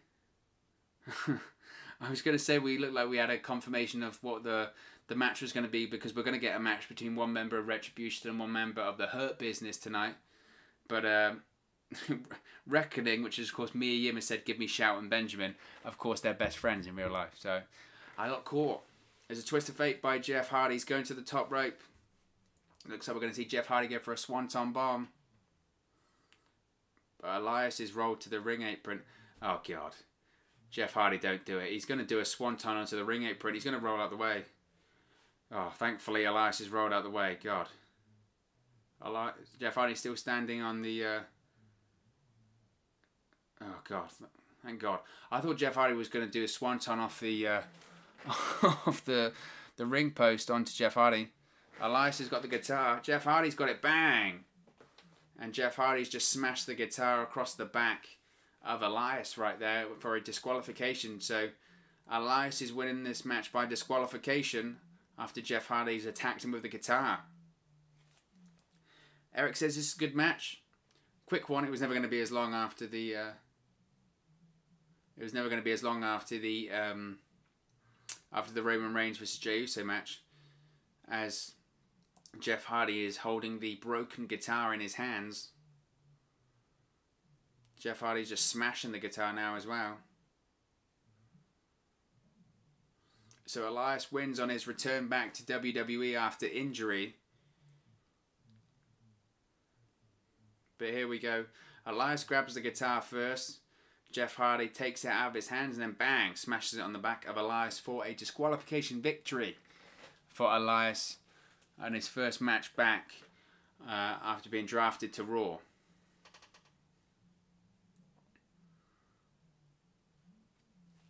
Course, Elias's new album that they're heavily advertising is coming out tomorrow. The Universal Truth, they're calling it.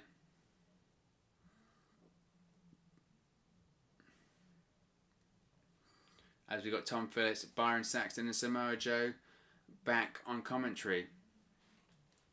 I think they're talking about the um, the Law and Otis segment. We could be seeing the Money in the Bank briefcase match coming up next as we see a replay of the Law and Otis segment from Friday Night SmackDown this past week. Of course, the judge was John Bradshaw Layfield. You had the bailiff being Faarooq slash Ron Simmons. You had the uh, person typing up the notes. Is there a special word for that? Topographer?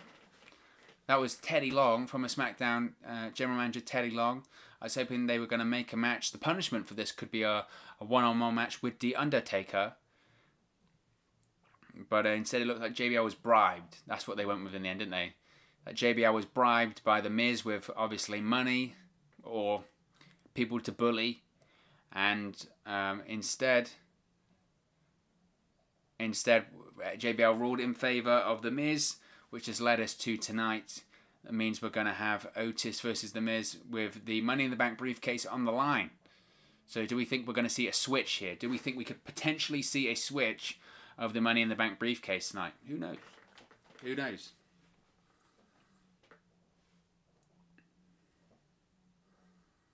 It was funny because obviously Wrestlers Court back in the day, Wrestlers Court was uh, always the judge was the Undertaker. Now I don't want to see you know the Undertaker in stupid comedy gimmicks, but it would have been interesting because if the Undertaker had appeared in this segment, it would have been very obvious that he is legitimately retired, because there's no coming back from that. Did they ever come back to actually who was uh, doing those dun dun bangs as well during that segment? Because it looked like there was a joke and they just never paid it off. But I mean, do we really think at this point, do we really think at this point that Otis can be Universal Champion? I don't think so. I don't think so.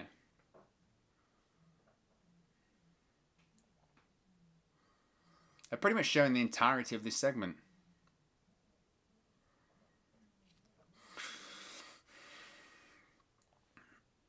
but they're, they're pretty much showing the uh, entirety of this segment, hyping up this or explaining why we've got this Otis versus Miz match tonight. So I'm guessing that's next. or they're just showing out for the sake of it. Oh, we've got Kayla Braxton. We've got Kayla Braxton uh, doing an interview with Otis and Tucker. Heavy Machinery, even though they're on separate brands, remember, they're on separate brands, but they're still together because the brand split means nothing. The brand split means nothing at all. It means absolutely nothing. A brand split is, you know. So Otis is holding two briefcases. He's holding the Money in the Bank briefcase. He's also holding his lunchbox because Otis, remember, the gimmick is that Otis is a big fat man. And Vince McMahon finds that absolutely hilarious. So it's just well, it's it's it, their their gimmick that WWE this revolutionary genius gimmick that WWE is trying to dream up for Otis is that he's Chris Farley. But here we go. We're gonna have Otis versus The Miz, with the winner getting the uh, Money in the Bank contract. The Money in the Bank contract is on the line, as the uh, as the sign says right there, the graphic.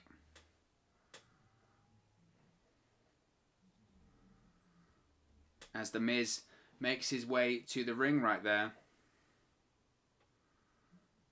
The Miz getting his uh, his pyro as it's going to be for the Money in the Bank briefcase. The Money in the Bank contract just feels very, I don't know, just feels very strange at this point, doesn't it? Like it, not like it used to. You know, the Money in the Bank I always think about the uh, you know you, you go back to the original, but you go back to Edge when he held the Money in the Bank briefcase.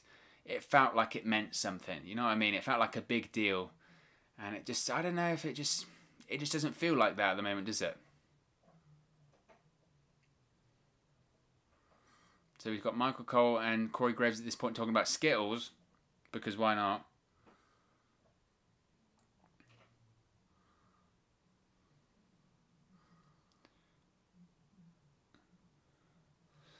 But what are we thinking of uh, WWE Hell in a Cell so far? What are we thinking about um, how this is played out so far? This is, is the first match was, I mean, uh, brilliant, absolutely sensational. Second match, I mean, how do you follow that? To be honest, when it comes to Elias and Jeff Hardy, how do you follow that Roman Reigns match? Oh, it says new entrance music. Oh, God.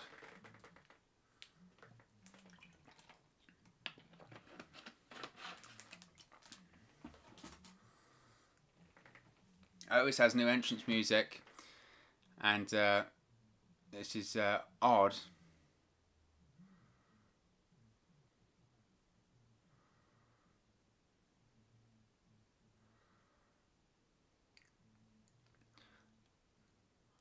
So it's only ever they've just mentioned this on commentary actually. It's a bit of a bit of a trivia for you guys.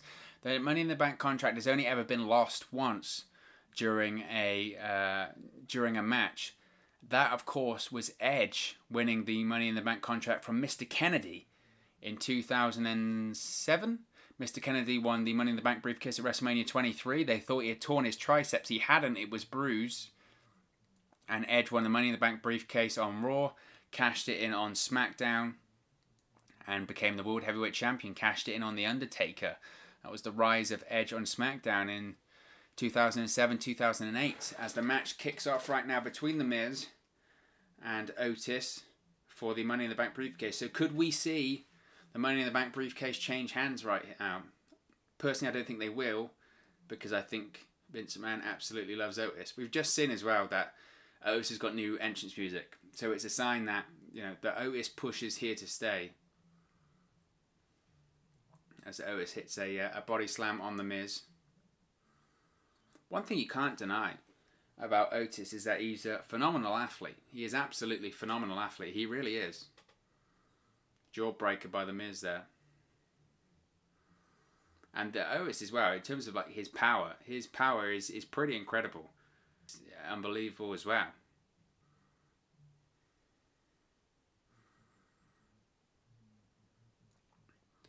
So Otis is just standing on the chest of the Miz right now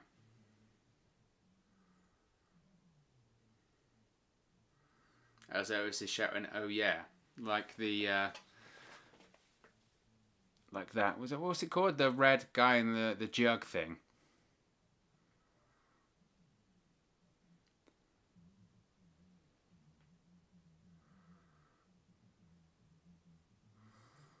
The Miz is going for a drop kick. No misses though.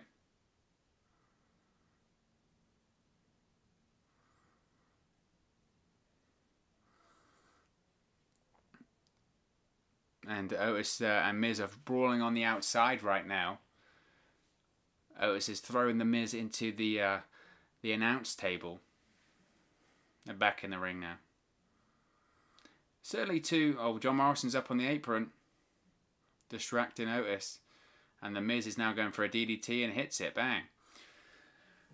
John Morrison, to be honest, should be the one that gets the Money in the Bank briefcase if they were going to switch it, but I don't think they will. I think Otis is going to win this one once again, though, how do you? Um, it's almost like these two matches are to come down from that opening Hell in a Cell match with Roman Reigns and and Jey Uso. It was that good that they're having to sort of come down a bit from it now, as John Morrison gets involved once again.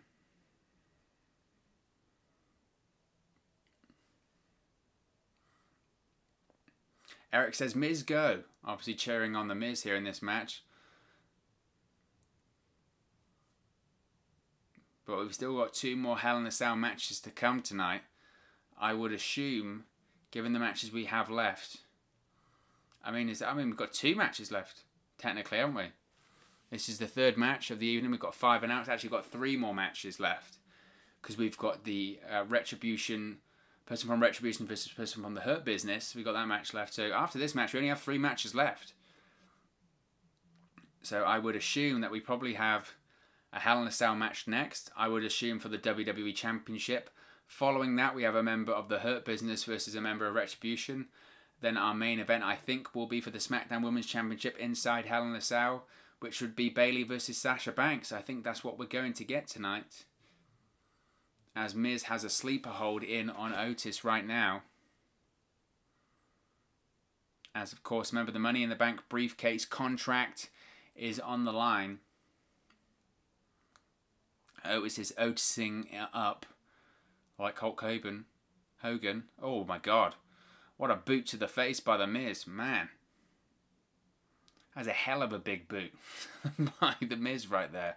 Hell of a big boot onto Otis. Of course, remember as well, you have to remember that The Miz has been Mr. Money in the Bank before. Won the Money in the Bank briefcase, I believe it was at 2010? 2010? Yeah, 2010, and then cashed it in. In uh, cashed it in later that year in November. Oh no, was it? When did he win that then?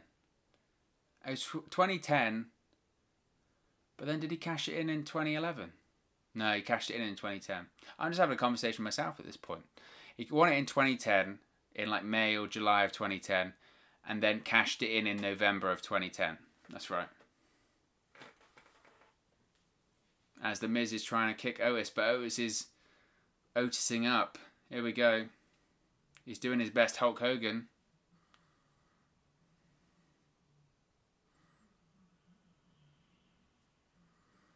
Otis is Otising up, couple of clotheslines, shoulder tackles to the Miz.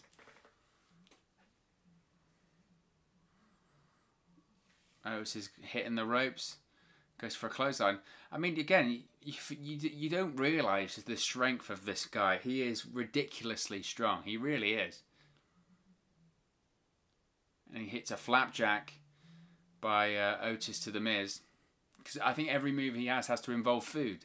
They've probably said that to him. They've gone, go on an old SmackDown vs. Raw WWE 2K game, go on to create a wrestler mode, find every move that involves food. Flapjack, pancake,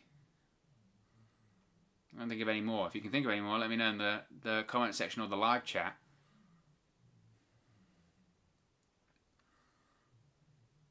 And Otis has just thrown the Miz into the barricade there. Morrison attempted to get involved and Otis just sort of intimidated him away as he's throwing uh, Miz back in the ring. It's incredible because, oh, Miz just hits a big boot to Otis. It's incredible because you it when Miz when Otis does these moves to the Miz, it doesn't look like he's actually expending any energy at all. He's just that strong. John Morrison had the briefcase. He looked like he was just about to hit the Miz, but the referee caught him. And uh, the referee, she has just thrown the, uh, John Morrison out of the match.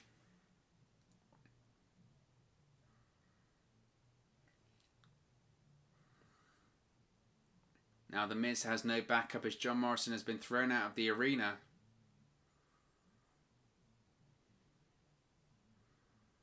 Otis has rolled up the Miz. He kicks out. Oh, discus clothesline, man. Right on the Miz. And the Miz kicks out. I thought that might have been it. What I will say, and maybe this is the heel in me at this point, is that where John Morrison dropped that briefcase, it's right by Tucker. Perfect if he was going to turn his back on the on Otis. Like he just did. Otis just hit Tucker just hit Otis with the briefcase. Like I just said, I just called it and he did it. Tucker just turned his back on Otis. He hit him with the briefcase. Miz is in the cover, he's gonna win it. And Miz is Mr. Money in the Bank. Miz has won the Money in the Bank briefcase, and he is the new Money in the Bank contract holder. The Miz has stolen the Money in the Bank briefcase. My oh my. I didn't see that coming. I said I thought that Otis would retain. But I did say, I did say when that happened, I said that John Morrison has just dropped the Money in the Bank briefcase right at the feet of Tucker. It's right there, just in case for him to turn on Otis. And Tucker has turned his back on Otis, and we now have a new Mr. Money in the Bank, that man being The Miz. The Miz is new Mr. Money in the Bank. My oh my. Wow. So could could The Miz become a WWE champion for the second time in his career? The opportunity is there. My gut instinct would say no. My gut instinct would say no that he wouldn't. But um, there we go. Tucker has just turned his back. It was like the slowest. It was like the slowest shot, by the way. Otis hung on the second rope for about a million years, and then Tucker hit him with the briefcase. But Tucker has turned heel. He's turned on Otis, and Miz is the new Mr. Money in the Bank. Wow. Now, once again, does this mean that The Miz is going to cash in successfully and become the WWE Champion? I don't think so. But it does go to show that I think WWE realised that putting the Money in the Bank briefcase on Otis was a mistake. It goes to show that putting the title on him was obviously a mistake that they probably shouldn't have made. They probably shouldn't have made. But what's interesting though is that this sets up a feud between Otis and Tucker. It's great that they've just been drafted to different brands, though. Again, because the brand split doesn't matter. But we've got we've got a new Mr. Money in the Bank. This is this is craziness. This is craziness. They've realised they obviously made a mistake when it comes to Otis being Mr. Money in the Bank. They realised that he wasn't world champion material. Nothing against Otis, but it obviously is the case that Otis isn't money and isn't uh, world champion material. But Back in May when the, the, the, the briefcase was won by Otis, maybe he did have a shot, but they've realised their mistake. The Money in the Bank briefcase is now on The Miz. Does this mean that The Miz is going to become WWE Champion? My gut instinct already tells me no, but anything can change. I think it's more likely that The Miz would become WWE Champion than someone like Otis. But this is this is this is this is surprising because I didn't think they would do it because I felt that Vince McMahon was so stubborn that he wouldn't have he wouldn't have uh, go back on his go back on what his decision was to have Otis become Mr. Money in the Bank. But now we have an interview with the Miz and Kayla Braxton and John Morrison, as Miz is the new Mr. Money in the Bank. You can thank JBL for this. He bribed he bribed uh, the judge, The Miz did. He bribed JBL, and now we have The Miz being Mr. Money in the Bank. Potentially, we could have another Miz WWE Championship reign in the future.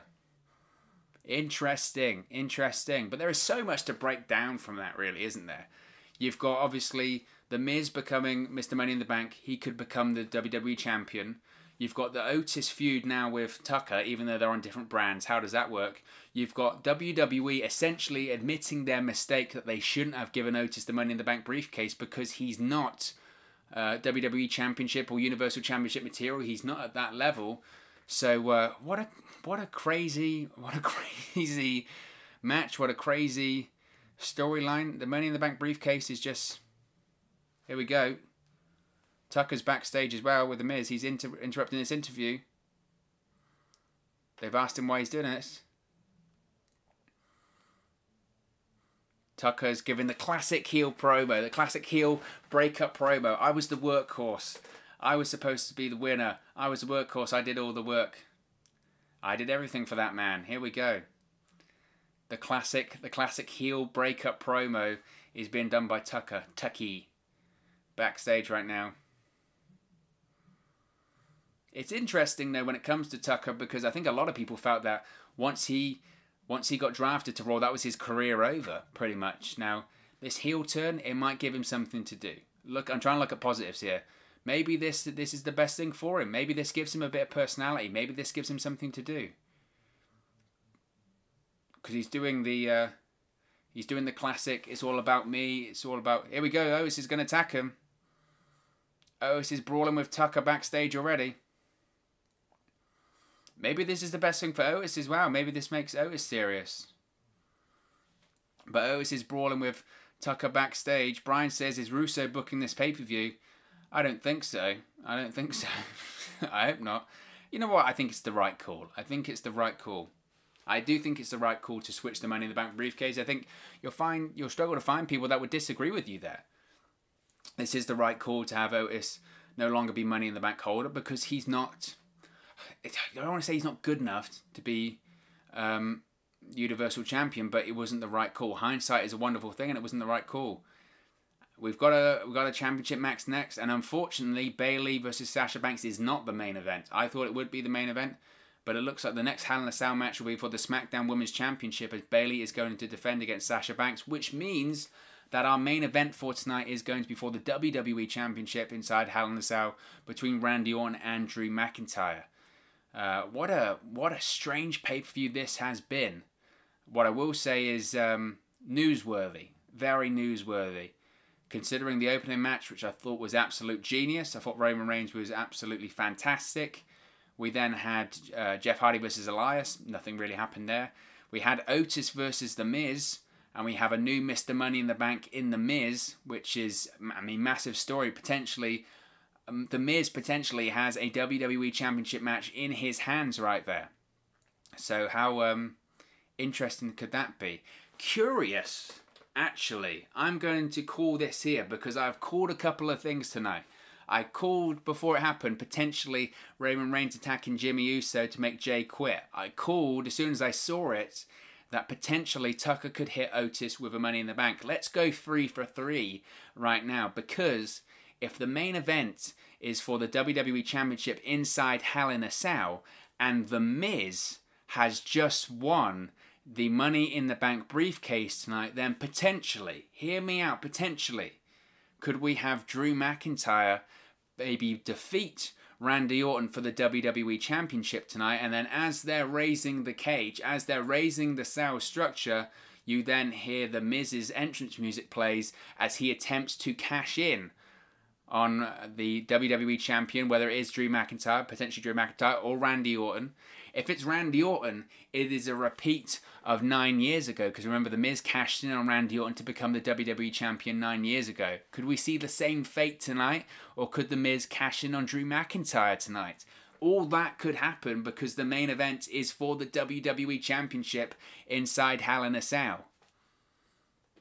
Three for three. All I'm saying. Three for three as we've got a promo right now for the Sasha Banks and Bayley match that is coming up next. So what do we all think of that? What if that is an absolute newsworthy event? I'm still I'm still um, digesting that result. I'm still digesting that we have a new Mr. Money in the Bank in the Miz. I'm still digesting that Tucker has turned on Otis and Tucker has cut the evil heel promo once you split up from your tag team partner that it's all about me and they can't do nothing without me and all this kind of stuff.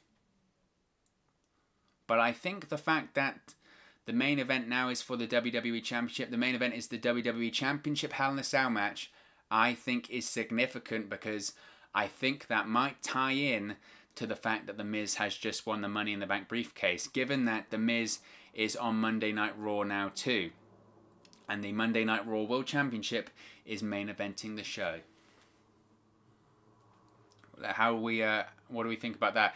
If you enjoyed that Otis is no longer Mr. Money in the Bank and you enjoyed that The Miz is now Mr. Money in the Bank, be sure to smash a like on the video.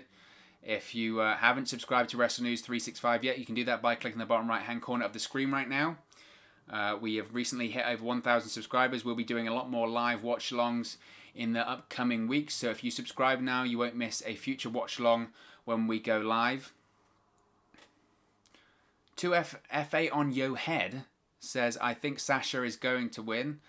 I mean, anything could happen tonight. I, I said that I felt Bayley would retain here, but um, I the story the story would suggest that Sasha would win. I think the interesting thing is, of course, that Sasha Banks has never won a uh, a Money in the Bank ladder match, a Money in the Bank, a Money in the Bank on the brain. Sasha Banks has never won a Hell in a Cell match. She's appeared in two, but she's never won a Hell in a Cell match.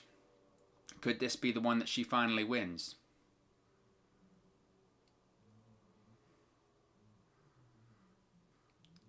This is the uh, the third Hell in a Cell match, of course, in WWE history. Sasha Banks has competed in every Hell in a Cell match. She competed in the first one against Charlotte Flair. She lost. She competed in the second one last year against Becky Lynch. She lost. She's competing in the third tonight against Bayley. Will she win? I say no. I say no. She's also never won the SmackDown Women's Championship in her career. So is this going to be a night of first for Sasha Banks? Is she going to win her first Hell in a Cell match on the third attempt? And is she going to become the SmackDown Women's Champion for the first time in her career? I don't think so. I just, I just, I think Bayley's going to retain. I've got a feeling that Bayley's going to retain this one. Although what I suppose is going the way of Sasha Banks is that Sasha Banks is appearing in season two of The Mandalorian. That is going to be on Disney Plus in the next few weeks. I know some people might not be fans of Star Wars, and I know some people might um, not watch that. But what is important, I suppose, is that she will be in the mainstream. She will be in the media. People will be talking about Sasha Banks. Would WWE want Sasha Banks to be one of their women's champions at a time that she's very much being spoken about on social media and in the media?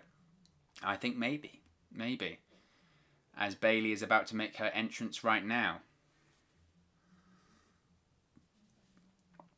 Bayley, by the way, has um, some absolutely incredible records um, as the SmackDown Women's Champion. She has held the SmackDown Women's Championship for 380 days. Obviously, she's got a gap between two SmackDown Women's Championship reigns of about a week. In reality, she's been champion pretty much for like 500, 600 days. It's absolutely incredible.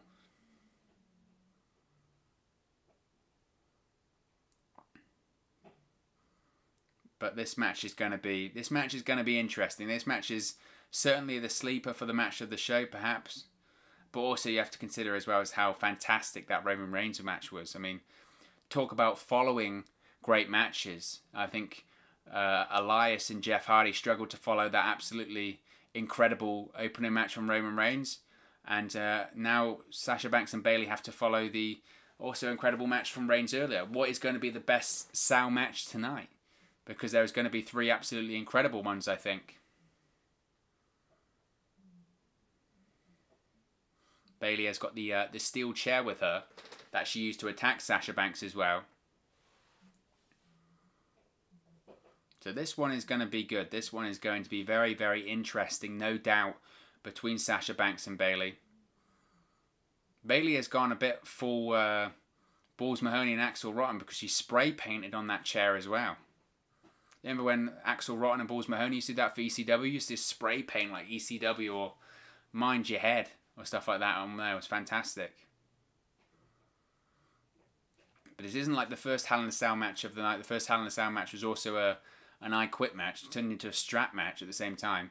This is just a regular, I say regular, Hell in a Cell match. I still find it incredible that earlier tonight they actually sort of attempted to stomp the Hell in a Cell match for the third year in a row. If the agents and referees had their way, they would have uh, changed that match into a no contest again. Which would have been ridiculous if they had pulled that off. Bayley rocking some new gear as well tonight, by the way. This sort of black and different gear by Bayley is uh, certainly interesting as the Hell in a Cell is about to be lowered right now. I wish they had the you know the ominous Hell in a Cell music. Oh, here we go. Sasha Banks just sort of drop kicked Bayley, and Bayley's chair has flown under the Hell in a Cell as it's being lowered, so Bayley doesn't have the steel chair available for use. And the bow is rung, and we are underway. There is no chair involved. That was a nice spot. I like that. This is going to be good. Sasha Banks and Bayley SmackDown Women's Championship on the line. This is going to be good. Settle back and enjoy this one. In fairness, I mean, they're going on, oh, Bayley doesn't have a special weapon to use. I mean, this is a WWE ring. I'm pretty sure there's probably a million steel chairs underneath the ring right now. As opposed to, oh, I, lo I lost the one that flew under the cage. Oh, wait, there's 500 underneath the ring apron. I think we saw a little glimpse there. There was uh, the ring apron lifted slightly, and I don't know about you, but I noticed at least like five or six kendo sticks. Whether that's for this match or whether that's for the Randy Orton versus Drew McIntyre match later tonight, we'll have to wait and see. As uh, Sasha Banks and Bayley starting off this match, Bayley's uh, Sasha Banks drop is on the top rope. Sasha Banks is going to go for a looks like a head scissors there, or she's transitioned into a back into the bank statement. She's not going to tap out this early, surely, but she is arching back on the back of Bayley right now. You think of the matches. Think of the matches that these two have had. These two have had in NXT. Arguably, I would put it up there against any NXT Takeover match in history. I know some people will say some of the more modern Takeover matches are better, but for me, oh, as Bayley throws Banks into the Hell in a Cell there, for me, the one of the best uh, takeover matches in history is the match at Takeover Brooklyn, Sasha Banks versus Bayley. You'll struggle to find a better one. You'll struggle to find a better one. As Bayley's got control of this one right now. Uh, after throwing Sasha Banks into the Hell in a Cell on a couple of occasions there. Of course, their match at NXT TakeOver Brooklyn was under different circumstances because in that match, uh, you had Sasha Banks was the heel and the champion, whereas in this match, Bayley is the heel and the champion. So certainly roles reversed, but there are the kendo sticks that I mentioned. Bayley went to use the kendo stick, but uh, Sasha Banks grabbed it and then she flung it out the cage through the gap. Bayley's just elbowed Sasha Banks in the throat. And she's going to use the kendo stick again, but Sasha Banks has caught it. And a knee to the face.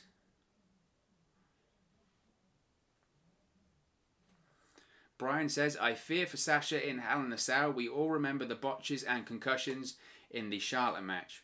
Well, Sasha Banks, you know, she puts it all on the line. She puts it all on the line, there's no doubt. What I will say is that that uh, little sequence they had at the start of the match when it was transitioned into the bank statement, that was pretty pretty damn incredible. I must say that was awesome. Sasha Banks is getting a table out now. I am the table indeed, because she's getting out a table. As apparently Hell in a Cell, hashtag HIAC, is trending number one in the United States right now. A lot of people talking about it. Probably a lot of people talking about the fact that uh, Otis is no longer Mr. Money in the Bank and The Miz is Mr. Money in the Bank.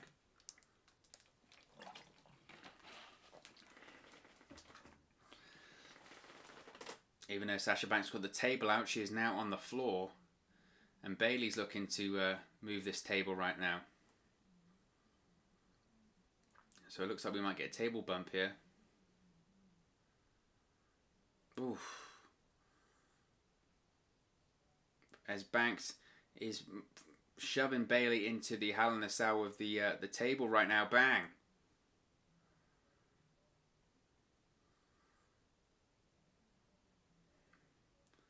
Oh. Banks then just used the uh, that was awesome. Banks used the the table as a ramp to hit Bayley with a meteora into the Hell in a Cell structure. That was awesome. She's gone to the top rope now and another meteora to Bayley in the ring, and Bayley kicks out at two. Nice spot though. I remember last year during the Hell in a Cell match that Sasha Banks had with Becky Lynch, which actually opened the show and was fantastic, by the way. Some of the unique spots in that match were awesome. Um, Bayley hit uh, Bayley back, Sasha Banks hit a meteora on Becky Lynch in that match and uh, threw a table, and that was fantastic. They also had some absolutely fantastic spots last year in the Hell in a Cell. Sasha Banks is uh, kind of the queen of the Hell in a Cell matches. She really is. Obviously, she's been in the most, and last year I thought her her match with Becky Lynch inside Hell in a Cell was thought was absolutely fantastic. I really did. It was creative. They had the spot with the uh, the steel chair and the kendo stick wedged into the side of the cell. That match is there. It was it was awesome. Sasha Banks went to the outside of the ring then. She kind of landed on the table a bit awkwardly there. That was a nasty landing for Sasha Banks. And here we go. Bayley's got another steel chair. This was a, this was my point a minute ago.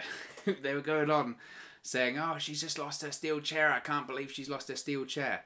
I, I'm pretty sure there's probably like a million underneath the ring. You don't have to worry about that.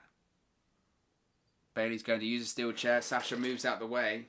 She's sliding under the table. Now she's under the table. Kick the table into the face of Bayley. That was a cool spot. Oof. She hits another Meteora onto Bayley into Hell in a Cell, but Banks landed sort of tailbone first onto the mat there. That hurt. That looked like that was painful.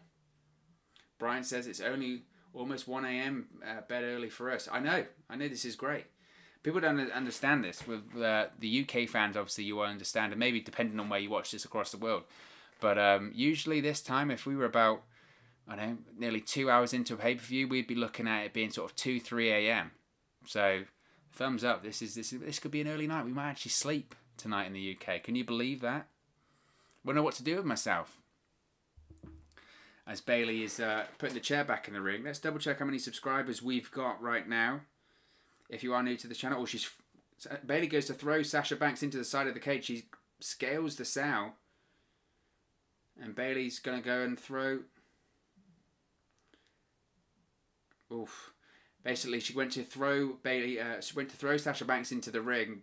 Banks counted into a bit of a hurricanrana, used the rana to put Bayley into the sow. It sounds as complicated as it looked. It was a bit sloppy. So we're currently on bang on 1050 subscribers. Thank you to everyone who is newly subscribed to the channel. If you are new, please subscribe to Wrestle News 365. You can do that by clicking the bottom right hand corner of the screen right now. We'll be doing a lot more watch alongs and live streams and stuff like that in the coming weeks. So if you haven't already, please do subscribe. If you're enjoying this pay per view so far, if you're enjoying this match between Sasha Banks and Bayley, smash a like on the like button as well. And here we go. I mentioned that I mentioned that Sasha Banks did this last year. She did this almost the very same spot. She is wedging a kendo stick into the Hell in the Cell through the steel ring steps. She uh, loves these kendo sticks inside Hell in a Cell. She did it with Becky Lynch last year. She's doing it with Bayley right now. Going to suit, try attempt to suplex her through it. Bayley's reverse. She's going to try and do it instead. She's attempt to suplex her, but now Sasha Banks is on the ring apron. One of the kendo sticks has been knocked out. Oh. One of the kendo sticks fell out, and Bayley sort of hit a, a, drop toe hold version, and ba- and Sasha Banks went through the kendo stick that was wedged between the sow and the uh, the steel steps, and now Sasha Banks is selling the throat and neck injury that she had. They're showing it again. Drop toe hold yet, and she goes through the kendo stick that was wedged between the sow and the steel steps. This was uh, so Bayley is wedging it up again, uh, uh, the one that fell out anyway. Lucky says Sasha will win. If you think that uh, Sasha is going to become the new SmackDown Women's Champion, be sure to put it in the live chat. And here we go. Bayley is attempting to do the same as Sasha and basically wedge the kendo sticks into the cell. Here we go. She's going to do a... Oh! did a bit of a hangman's catapult. Bayley does a hangman's catapult. Sasha Banks goes neck slash throat first into the kendo sticks wedged between the cell and the steel steps. Brutal. Cool, innovative stuff though. It's hard. I mean, there have been so many Hell in the Cell matches. There have to be at this point like, if I was to guess in WWE history, maybe maybe forty, maybe even more than that. Maybe even more than forty Hell in the Cell matches. There have been a lot. There have been certainly a lot throughout WWE history. So it ain't easy to be innovative. It ain't easy to do new stuff, try different stuff. So to do uh, to do different and unique stuff, you've got to give credit to these two right now. As Sasha Banks and Bayley are back in the ring now, Bayley's working over Sasha Banks.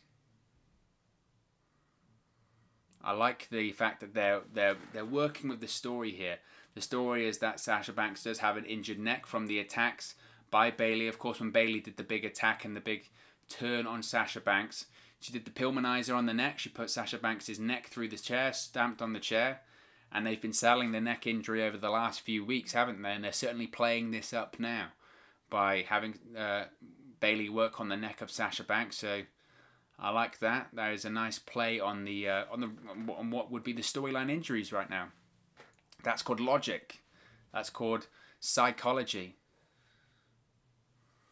Bayley's now talking trash.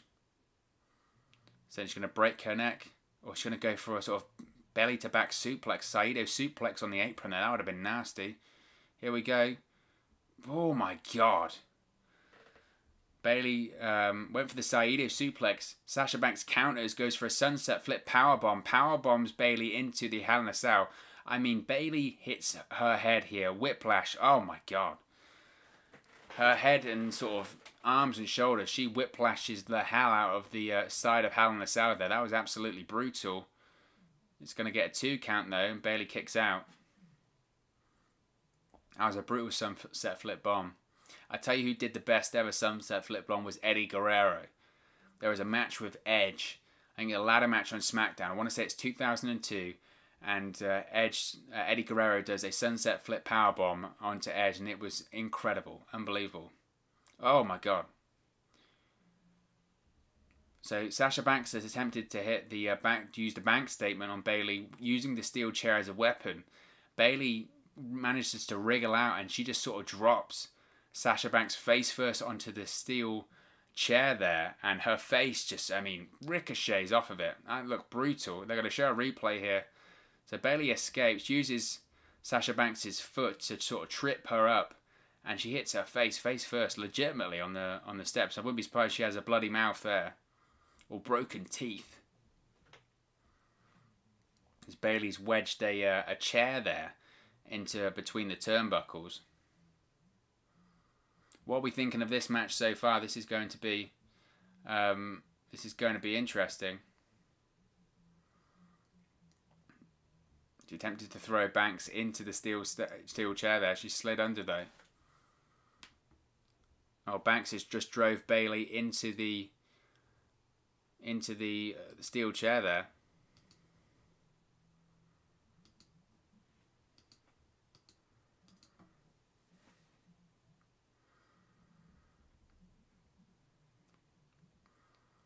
Oh my god. Bayley just there. Uh, I talked about sort of sunset flip power bombs. Bayley just hit one of her own, a sunset flip power bomb, and Sasha Banks hits the back of her head on the steel chair that was wedged in the corner. My God, I mean that is concussion city. Here we go. We're gonna see it again. Sunset flip. Oh my God. Sasha Banks just launches herself back of the head straight into the steel chair there. Man.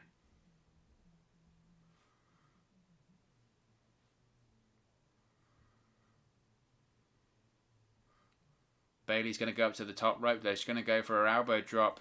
Hits it. Banks kicks out at two though. Man, that spot, back of the head into the steel steel chair. They're to show it again here. My God. I mean, again, I wouldn't be, I wouldn't be surprised in the slightest if, um, if Sasha Banks has a concussion there because that looks that looks rough. That looks really rough. Here we go though. Sasha Banks has recovered. She's going to go for the bank statement. She's got it locked in. Now, should rope breaks count in this match? Because I don't think they should. It's Hell in a Cell. There we go. They shouldn't. There we go. Bayley does reach for the ropes, but you can't break it because rope breaks don't count. Bayley instead has slid outside of the ring, and she's wedging. There we go. She's tied Sasha Banks up in the ring apron there. Shades of Fit Finley. Oof. Bayley just shoves Sasha Banks' face into the steel ring beam there. Some of the creativity in this match has been incredible, really. Using the uh, kendo stick now to the back of Sasha Banks.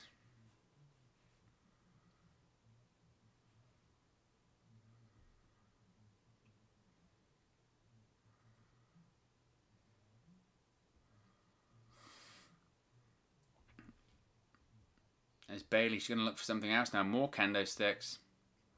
I told you this is matches full of kendo sticks. She's got duct tape now. Bayley's going to go for um, duct tape.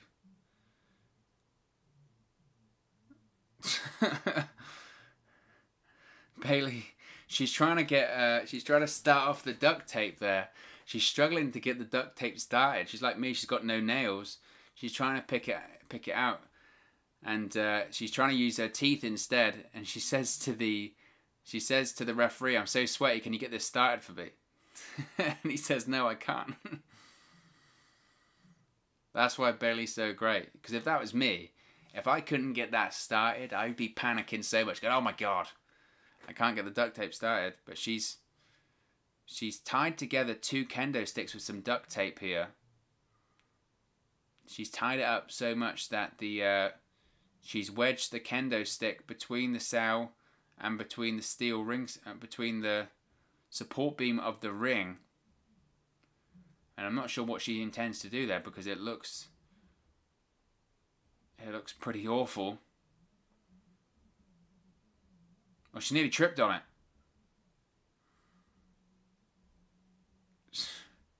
Bayley, so she's trying to set up two kendo sticks there and wedge them between the Sal and the and the ring, and it doesn't look great. I'll be totally honest. She then, to get back in the ring, nearly stepped on it. Sasha Banks has now used a fire extinguisher in the face of Bayley.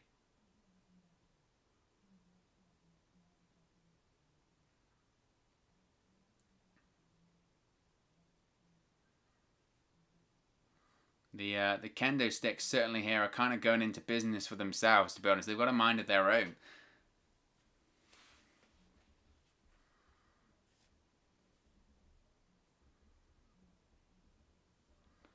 Bayley goes to grab, grab her steel chair though, but she can't see because of the uh, fire extinguisher. Sasha Banks grabbed it. How did that? How did that chair get back? I was. I wonder how how that got back there. But Sasha Banks is throwing Bayley into the Hell in a Cell there. Of course, this is the second Hell in a Cell match of the night. We've got one more left, which is Randy Orton versus Drew McIntyre. And Sasha Banks is just beating the hell out of Bayley now. She's showing that the Bayley is nothing without Sasha Banks. She's throwing Bayley once again into the side of Hell in a Cell and another Meteora.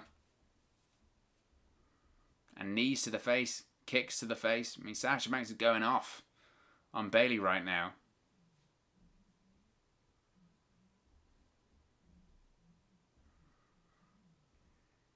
Sasha Banks is looking under the ring for another another weapon here. It's got another kendo stick. Are they are they actually going to come back to whatever that setup was by Bayley by putting the kendo stick into the Hell in the Cell with the with the ring there because it looks just, if they don't come back to it that was just obviously a rest spot or a spot for a distraction spot so Sasha Banks could get the the the fire extinguisher Sasha Banks now is using the kendo stick on Bayley. And is really going at it, using that kendo stick on uh, on Bayley right now. She's beating the house. She's being relentless as Michael Cole was saying, using this kendo stick, attacking Bayley. Sasha Banks is looking like she's going to cry.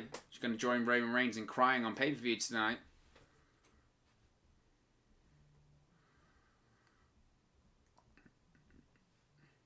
Here we go, Sasha Banks. What she's setting up for. Bayley looks to be uh, out of it in the ring right now. Here we go. This is this is going to be emotion here. Bayley's crawling towards the steel chair. She's crawling crawling towards her trusty steel chair. She's grabbed it, but she uh, she kind of knows it's over because Banks has just kicked Bayley square in the face. And Banks is going to go to top rope. Shades of Eddie Guerrero. She's going to go for a frog splash. Here we go. Frog splash. Oh, but Bayley had the chair on her. She used the chair to protect herself. To be honest, if you're Sasha Banks there, what on earth are you doing? You had Bayley for the for the Pete in there, and then you've uh, gone for a frog splash, and Bayley's just used a steel chair to protect herself.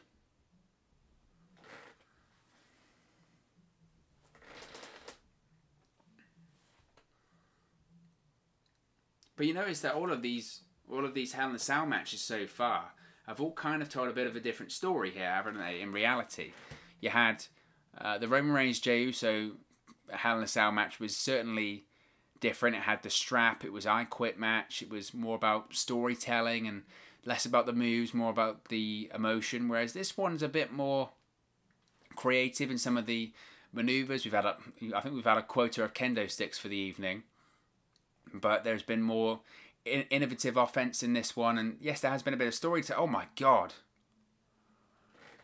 Bayley has just sent Sasha Banks face first onto the uh, outside. Oh my god.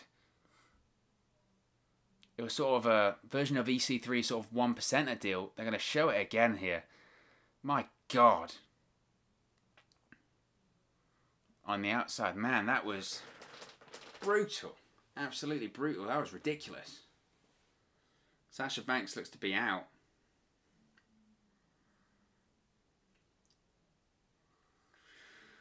Bayley looks to be going for yet another weapon. Oh my god, she's got a ladder. Here we go. We're going to get something serious now because the ladder's in play.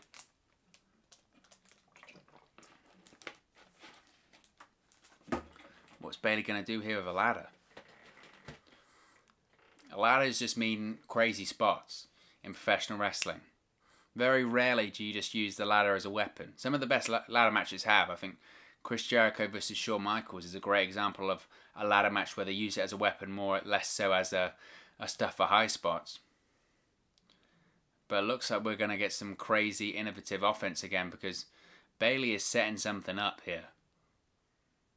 She's got two steel chairs and she is laid a ladder across two steel chairs in the ring, we are going to see something pretty, pretty crazy here, I think.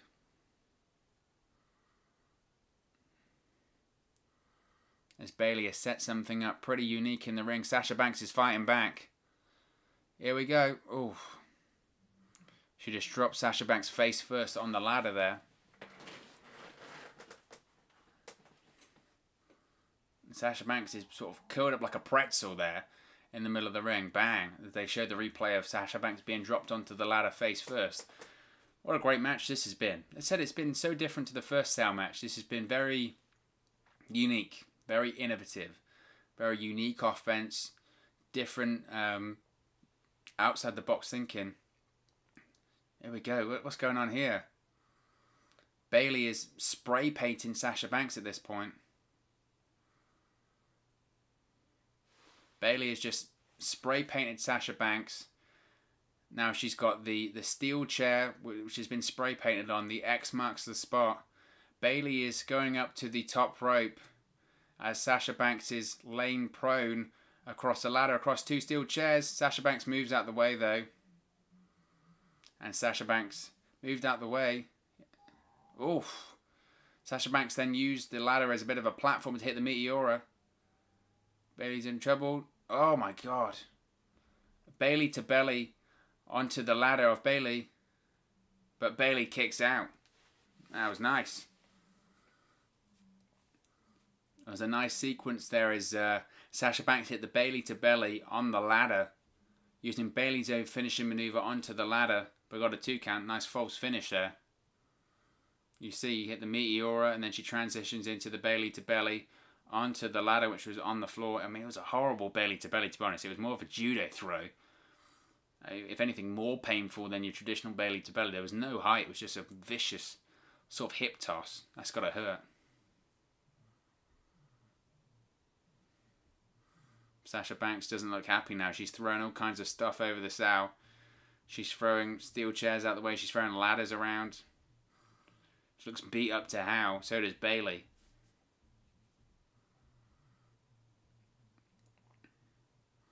She went for the bank statement again, but Bayley's rolled through and oh my god. Knee to the face. Here we go. Bayley to belly of her own. Bayley to belly to Sasha Banks.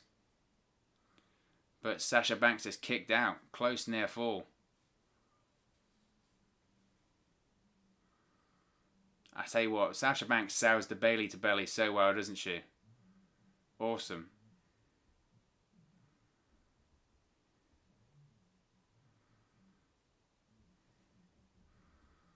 I think Bayley's facial reactions so far have been absolutely brilliant too. What an incredible match this has been. Oof. And now Bayley's using the steel chair on the back of Sasha Banks, and again twice. Kind of pulling back on those steel chair shots, though, I must say. Want to snug up on those a bit.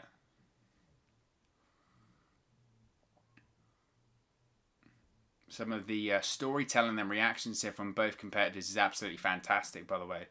Bayley is uh, selling these steel chair shots so well, and sort of the reaction to him. Balor, Balor, Balor, Sasha Banks. Oh, here we go. She's going to go for a Bayley to belly using it. But Sasha Banks has transitioned through into a bank statement. She's going to use the bank statement. She's got the steel chair around the neck of Bayley and she's got the bank statement locked in. And now she's kicking the chair, sort of closing the lip of it. And Bayley's tapped out. And we have a new SmackDown Women's Champion. Sasha Banks is the new SmackDown Women's Champion. She used the steel chair to lock in the bank statement. She trapped Bayley's head in between the lip of the chair and stamped on it. Not only is she using the chair to sort of choke her out and tap her out, but she's uh, but she was shutting it on her head as well on her neck. And we have a new SmackDown Women's Champion in Sasha Banks. What a fantastic match that was. Absolutely superb, and we have a new SmackDown Women's Champion. I said going into this match, my predictions are terrible. So going into this match that I felt that Sasha Banks wouldn't win, but Sasha Banks has finally won a, a Hell in a Cell match on the third attempt. She's finally won the SmackDown Women's Championship. Bayley's historic SmackDown Women's Championship reign is now over. A 380 day, uh, 80 day Women's Championship reign is now over. What a fantastic match between Bayley and Sasha Banks there. And now Sasha Banks, she has won every championship there is to win in WWE. She has won the Raw Women's Championship. She has won the SmackDown Women's Championship. She has won the NXT Women's Championship. She has won the WWE Women's Tag Team Championship. Sasha Banks is the new SmackDown Women's Champion after defeating Bayley, winning the SmackDown Women's Championship for the first time in her career, winning a Hell in a Cell match for the first time in her career on the third attempt. What a fantastic match. The 380 day reign of Bayley is now over. What a brilliant matchup. What an absolutely brilliant matchup. That is two competitors right there that know that they just absolutely nailed it. But this isn't going to be the last time. I have no doubts that Bayley and Sasha Banks will face off again. I know rematch clause don't exist in WWE at the moment. I know they're not meant to exist in WWE at the moment. But we will see Bayley versus Sasha Banks again for the SmackDown Women's Championship. I have no doubts about that. Now, I mentioned why why would WWE put the title on Sasha Banks right now? Of course, she is in season two of The Mandalorian. The Mandalorian is a big deal. It's on Disney Plus. It's in Star Wars. We know that uh, Sasha Banks has a big part in that, and uh, WWE wants someone who is going to be in the mainstream media, who is going to be in the press, and who is going to be getting a lot of media coverage. They want her to be a world champion at this time, and I think that is a factor as to why they rushed this ahead. I, I mentioned in the preview that I did for this match. I felt like this match could be WrestleMania main event material. I felt that this really could be WrestleMania main event material, and um, they decided to do it here, and I think it was absolutely delivered, and it was an absolutely fantastic match. So Sasha Banks is the new SmackDown Women's Champion. As we go backstage, Charlie Caruso is now talking to the Hurt Business. So who is going to be facing Retribution? I think that match is probably going to be next. Bobby Lashley looks set to compete.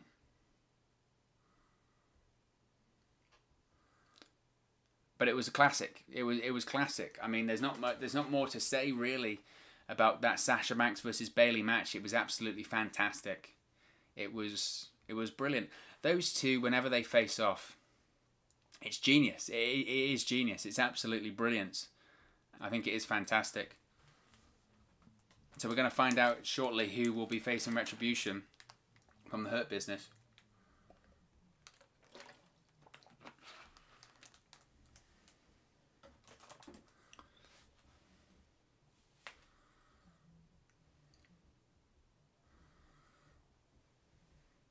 So it looks like we're going to have Slapjack, what a fantastic name, facing off against Bobby Lashley as Retribution face off against the Hurt Business next at WWE Hell in a Cell. I wish they would have gone. We're going to have uh, the person we're going to have face a member of Retribution is the newest member, Ricochet. That'd have been awesome. Because I still think that Ricochet, Ricochet needs a mouthpiece. Ricochet needs a mouthpiece like an MVP because Ricochet's I think his biggest issue is that his um, his promos suck. I mean, I'll be, I'll be pretty open about that. Like I'm not. His, his, his promos suck, Ricochet. I don't know if you saw on social media this week. There was a lot of um, clips of Ricochet. He was obviously doing some uh, workout at the gym. He was doing a workout at the gym with uh, Stacey Ervin Jr., former NXT superstar, and basically their workout was sort of a gymnastic workout, and they were doing front flips and back flips, and Ricochet does um, Ricochet goes to do like a front flip, doesn't land it a couple of times, and uh, keeps trying, keeps trying, and then after sort of two or three times, he sort of sat cross-legged on one of these sort of platforms you see at the gym, and um, basically from a, a sit-in position cross-legged, he manages to do, do a back flip and lands in a sort of a superhero position or lands on his feet essentially, which is incredible, incredible, and um, so he does all of that, and uh, which was incredible. And I saw a lot of people response to that as, "Oh, he can do all of this, but why isn't he doing this on Monday Night Raw? And why isn't he doing this? Why isn't he getting more time?" And uh, the reason why is because he can't talk. He can't talk, and, and what is his character? I don't think anyone knows his character as we just had an advert for that sort of 30 years of Undertaker deal, which is cool. Some of the documentaries on the WWE network look amazing for the uh, for the 30 years of the Undertaker. We've also just got an advert for uh, NXT Halloween Havoc coming this week on Wednesday. Should we do a watch along for that? If you wanted us to do a watch along for NXT Halloween Havoc this week, let me know in either the live chat or in the video or in the uh, comment section below if you're watching after the fact. If we get enough people that are interested, we'll do a live uh, watch along for NXT Halloween Havoc on Wednesday. I think that will be the. I, I wouldn't be surprised if that's going to be an episode of NXT that beats AEW in the ratings. I would have thought it is, but we'll have to wait and see for that one. Just switch headphones there. My headphones are dying. Do you ever find that with your Apple AirPods that they just they don't hold battery that well? I mean, Apple, if you are watching, which you're probably not, you can always send me some free ones. So Bobby Lashley is coming out right now. So as Bobby Lashley is going to face Slapjack. We don't have a graphic. We don't have a graphic. If we'd have, if we'd have known, we'd have made one. But we don't have one, unfortunately. So we're going to get an added match of uh, a Hurt Business member versus a Retribution member before we have our main event for the WWE Championship inside Hell in a Cell, of course. What is everyone thinking of the show so far? Are you enjoying it? If you're enjoying Hell in a Cell, smash a like on the like button. Of course, if, if you are new to the channel, be sure to subscribe, bottom right hand corner.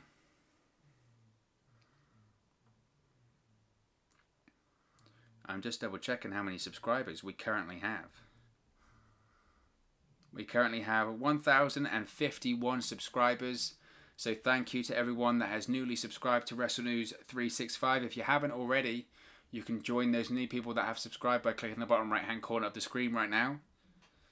We'll see how many we can get up to before the uh, the night is over, as we have Retribution about to make their entrance here.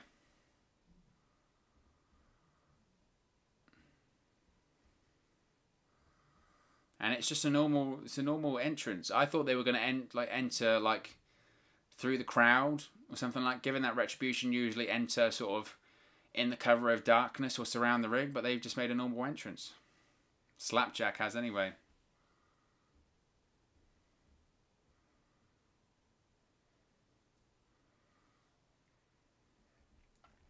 So here we go. This is Slapjack, which is uh, Shane Thorne from NXT. Why they can't use their NXT names, I don't know either. Very strange, isn't it? But we've got Slapjack, who has the worst name. I mean, literally, he has the worst name out of anyone. He really does have the worst name.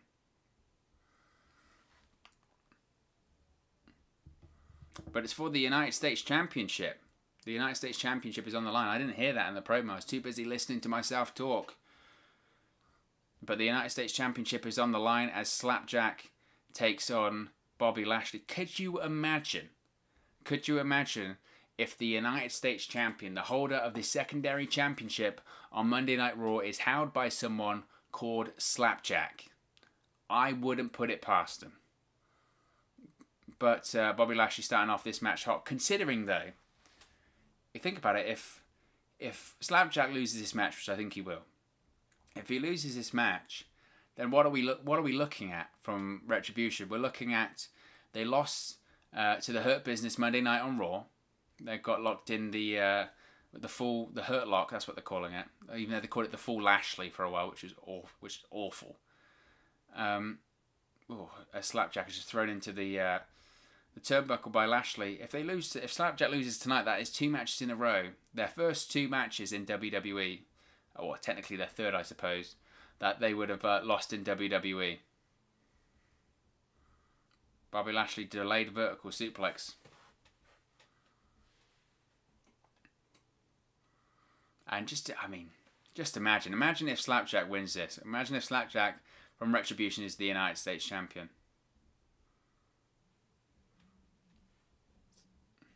Why wouldn't you just take the mask off? There we go. Yeah, Bobby Lashley is grabbing at the mask. Good. You would expose it's Shane Thorne, then the commentators would have to go, "Oh, it's Shane Thorne." Oh, I never noticed that. Bobby Lashley's got him on his shoulder. What I will say though about Shane Thorne is, um, he's a great bumper. That's a terrible drop kick. He went to drop kick Bobby Lashley and just missed him, which meant the commentator had to do their classic. He didn't get all of him. He didn't get all of him right there. Slapjack, though, is going for a rolling cannonball into the corner. Looks like he's under the bottom rope. He tried to cover Lashley there, but Lashley was essentially all the way under the bottom ropes. he had to break that one up. But yeah, this is uh, this is this is strange here. This this matchup because um, again, I think Lashley will win but if Slapjack loses, that means they've had three matches, Retribution. One was a no contest, and they would have lost the other two. Oh, nice. Tornado DDT by Slapjack onto Bobby Lashley there. This is going to get two. Very nice, though. What does everyone think of that Slapjack mask? I mean, it's meant to be a play on a horror movie. I'm not a horror movie buff, so if you um, whatever that mask reminds you of, you can let me know in the live chat. It's meant to, it's meant to be a playoff like the hockey mask, isn't it? What's what's that? It's not Nightmare on Elm Street. It's the other one. It's Jason, whatever. Again, not a I don't like horror films. Bobby Lashley just throws Slapjack across the ring. Bobby Lashley's going to go with a belly to belly here. Just throws Slapjack Shane Thorne across the ring once again. Bobby Lashley looks like he's setting up for a clothesline here. Slapjack ducks though. Whoa, one arm slam by Bobby Lashley onto uh, Shane Thorne. Slapjack. I don't know what to call him. Here we go. Bobby Lashley's setting up for the uh, the hurt lock. Here we go. The hurt lock's locked in. There's that full Nelson. And Slapjack is out. But here comes Retribution.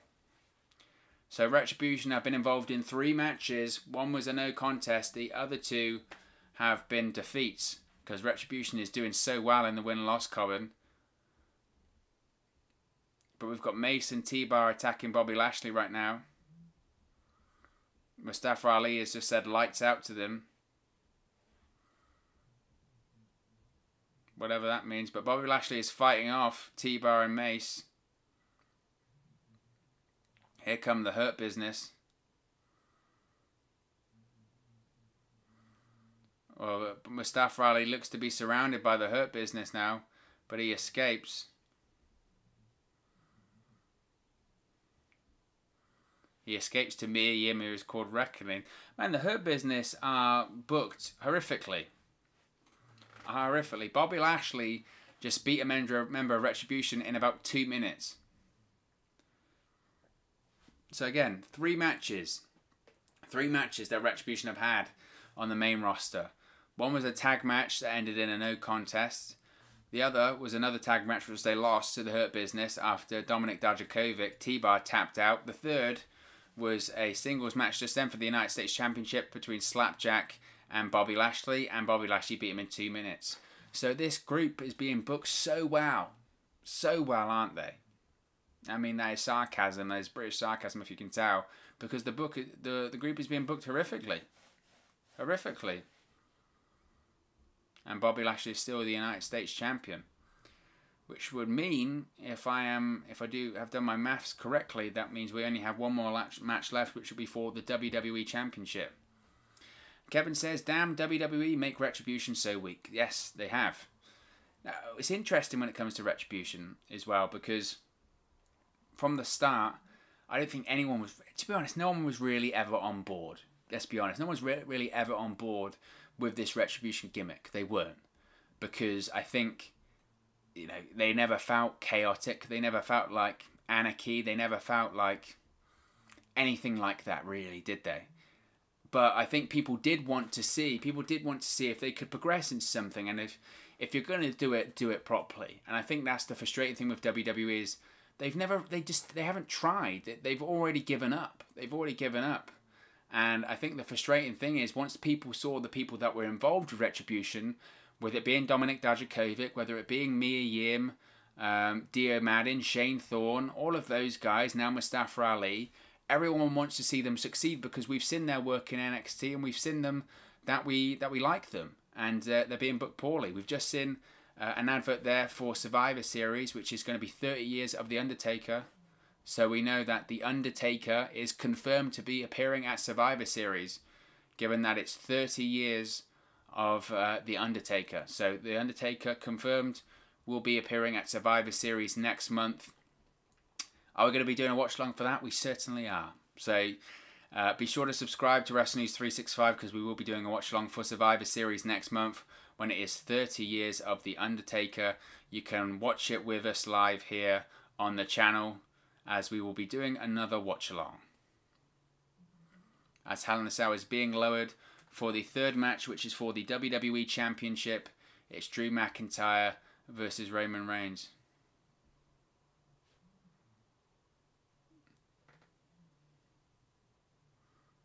As we go, yep, they're just saying it right now. It's going to be 30 years of The Phenom, 30 years of The Undertaker at Survivor Series next month. Of course, it's interesting because I remember in um, 2015 was 25 years of The Undertaker. And to mark the 25th anniversary of The Undertaker, or the 25 years of The Undertaker, they had the Brothers of Destruction versus the Wyatt family, didn't they? They had The Undertaker and Kane teaming up to face Bray Wyatt, and uh, and it was uh, Luke Harper, Brodie Lee in a tag team match for that show. And five years later, we're going to have 30 years of The Undertaker. But I don't think The Undertaker is going to be wrestling, don't worry. That was um, something that was actually reported on social media about a week or so ago that Survivor Series is going to be 30 years of The Undertaker. He isn't going to be wrestling. It's just going to be 30 years of Taker. What's interesting though is going to be what what gimmick is the Undertaker gonna be in for that? He has pretty much said that when he returns to WWE programming now, he's going to be Big Evil essentially again. He's going to be the biker American badass. He's going to be Mark Calaway. So, do I think we're going to see the Undertaker with the hat and the eye rolling and all this kind of stuff? I don't think so. I think we're going to. Uh, I hope we're going to see the American badass once again, but we'll have to wait and see.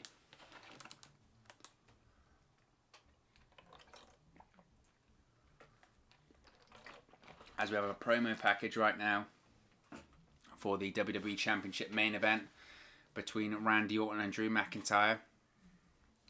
Uh, Kevin says Mercedes Martinez is a lucky woman. Well, that's right. Mercedes Martinez was a part of Retribution, uh, but she is back in NXT now. So we don't really know the story about that. We don't know if she asked to be out. If she did, smart.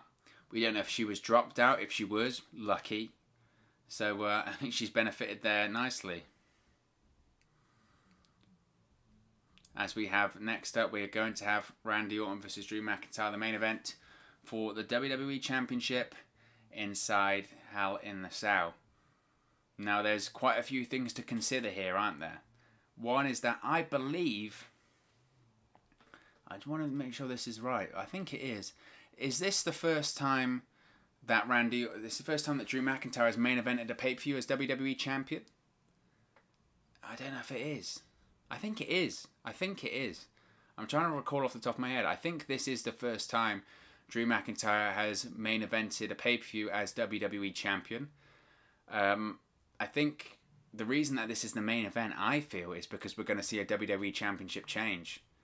I think. Uh, I think. Uh, I think this is going to be. I think this is going to be a, a title change here. I think Randy Orton is going to become the WWE Champion. I think also something to consider here that this might be the main event because The Miz earlier tonight became Mr. Money in the Bank. The Miz now holds the Money in the Bank briefcase, which says to me, if The Miz is holding the Money in the Bank briefcase, what better time to cash in than after Hell in a Cell tonight? And two superstars would not be expecting it because at the start of the night, a SmackDown superstar would have been holding the briefcase. So there's a lot. There's a lot to consider here. One, we could have a title change anyway because I think Randy Orton might win the title because he's rumored to be facing Edge for the WWE Championship next year at WrestleMania. Two, The Miz has won the Money in the Bank briefcase earlier tonight. He is a member of the Monday Night Monday Night Raw roster. What better time to cash in your Money in the Bank briefcase after two guys have just faced off inside Hell in a Cell? There's a lot there that is uh, makes sense, and there's a lot there that potentially could happen. So this is going to be a very interesting end to a pay per view that has been very, very interesting. And of course, it's amazing for uh, us over here in the UK because this is, uh, as a Brit, this uh, pay per view looks like it's probably going to end around, I would probably say about quarter to two in the morning. And usually it would be like 4 a.m. So this is awesome. Andrew Pollard says, Hi everyone, I just wanted to say this is the first WWE pay per view I've ever watched live. And so far, I'm glad I bought it. Spectacular so far. Glad you that you've enjoyed it, Andrew as we're watching a, a uh, an advert uh, an advert now with Batista in Gears Five. So there you go. If there's any Gears Five or Xbox fans, then there you go. As we see Drew McIntyre just about to make his entrance for the main event here for the WWE Championship inside Hell in a Cell. It's Drew McIntyre versus Randy Orton the first main event for Drew McIntyre as WWE Champion.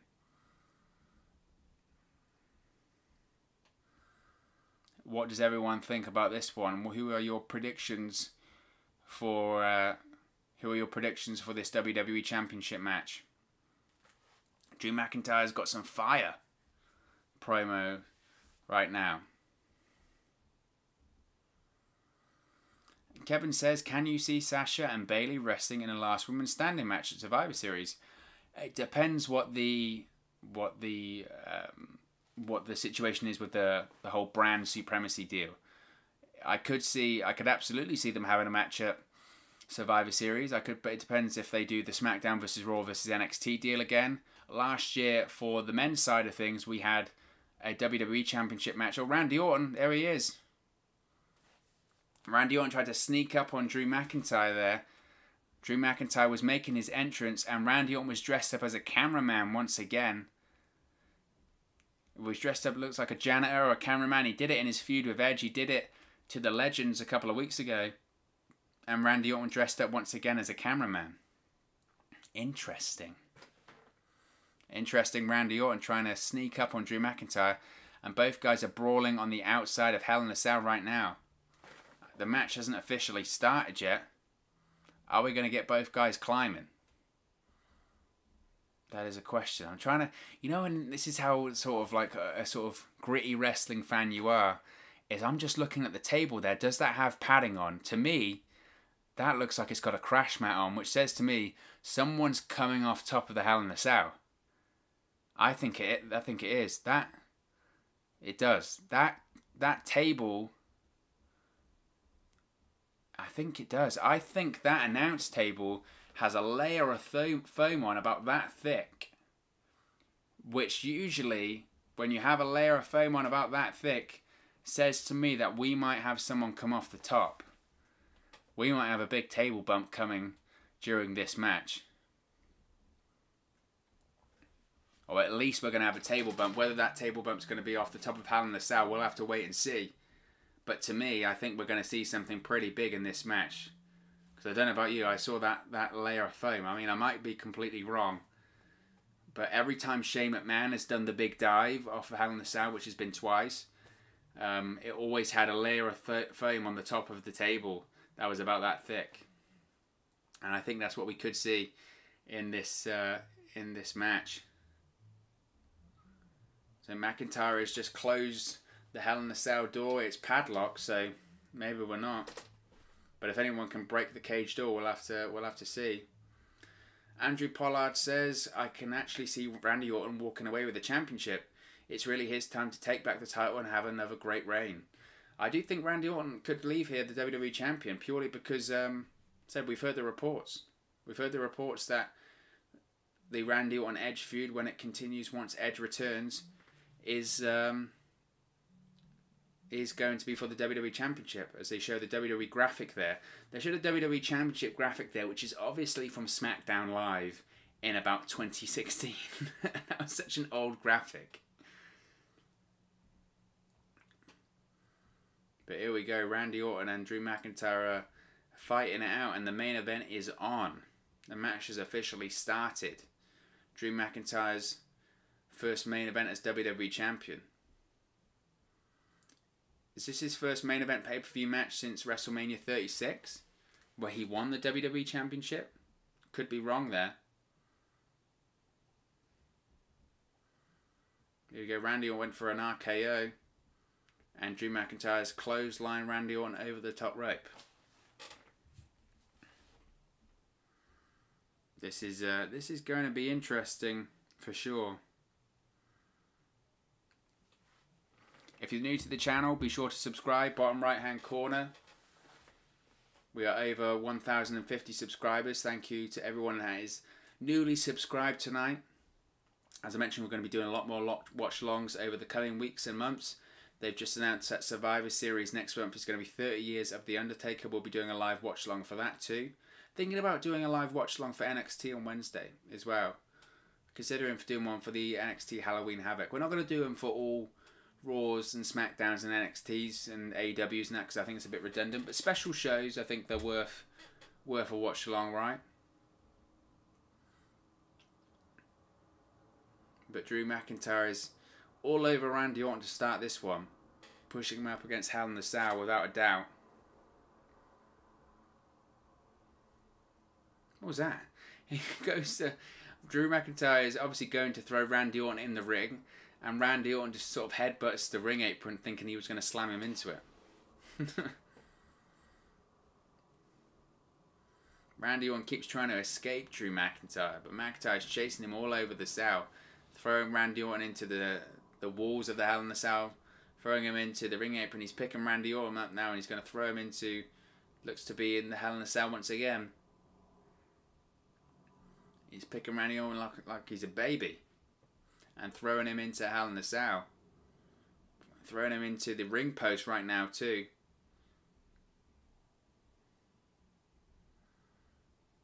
And Drew McIntyre looks like he's enjoying every second of it, and I am too. It's been a, it's been a it's been a certainly an interesting pay per view without a doubt.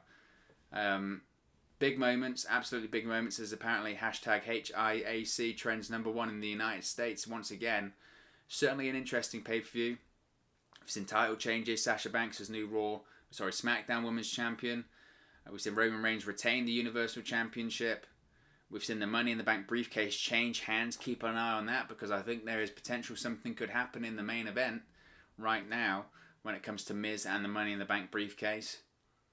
There is um, there is a lot of interest, I think, in this match from uh, the Miz backstage. Regardless, I think that the Miz on Monday Night Raw having that briefcase is the right call. Absolutely the right call. I think it was the right call to get the briefcase off Otis because um, and they realised that he just he wasn't going to be Universal Champion, especially not on SmackDown, especially not with Roman Reigns, and that was uh, was the right call. Drew McIntyre bang hits Randy Orton with the steel steps right there as well. This match has been all Drew McIntyre so far. If you've enjoyed in a Cell, click the uh, special like on the like button as well. It really does help us out for these live streams here on YouTube. Drew McIntyre looks like he's setting something else up now, regardless of what that is.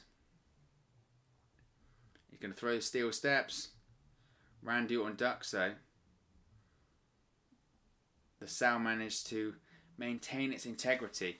I remember, uh, was it was it the Mick Foley Triple H Hell in a Cell match at No Way Out in uh, in 2000 when they threw the steel steps and it broke? Of course, it broke the cell.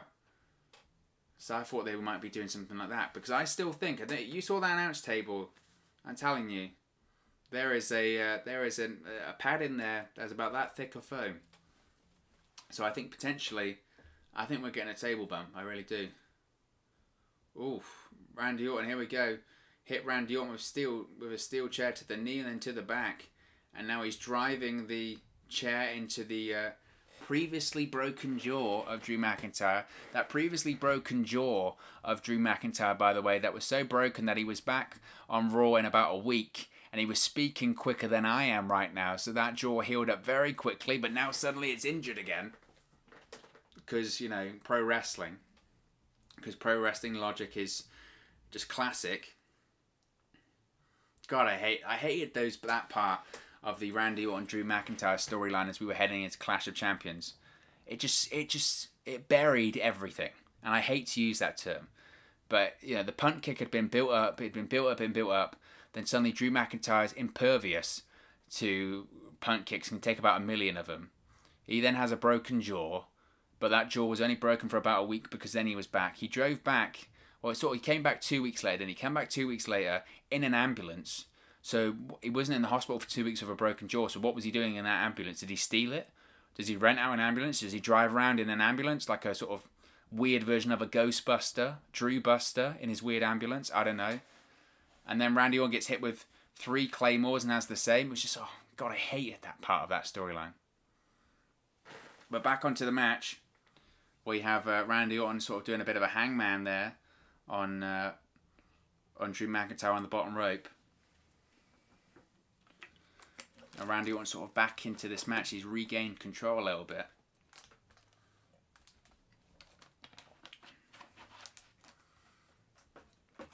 Social media's all they're commenting on right now is that Randy Orton finally took off his pants that he was wearing. American pants, not English pants, obviously. It's, it's PG show. Can't even bleed, let alone do that. Randy Orton does a stomp to the head of Drew McIntyre onto the steel ring steps.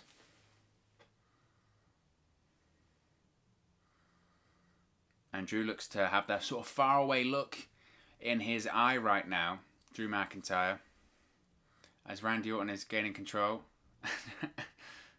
and Randy Orton is smushing the face of Drew McIntyre up against the steel grating. And uh, Drew McIntyre is doing his best screaming impression, and Randy Orton looks to be enjoying it immensely.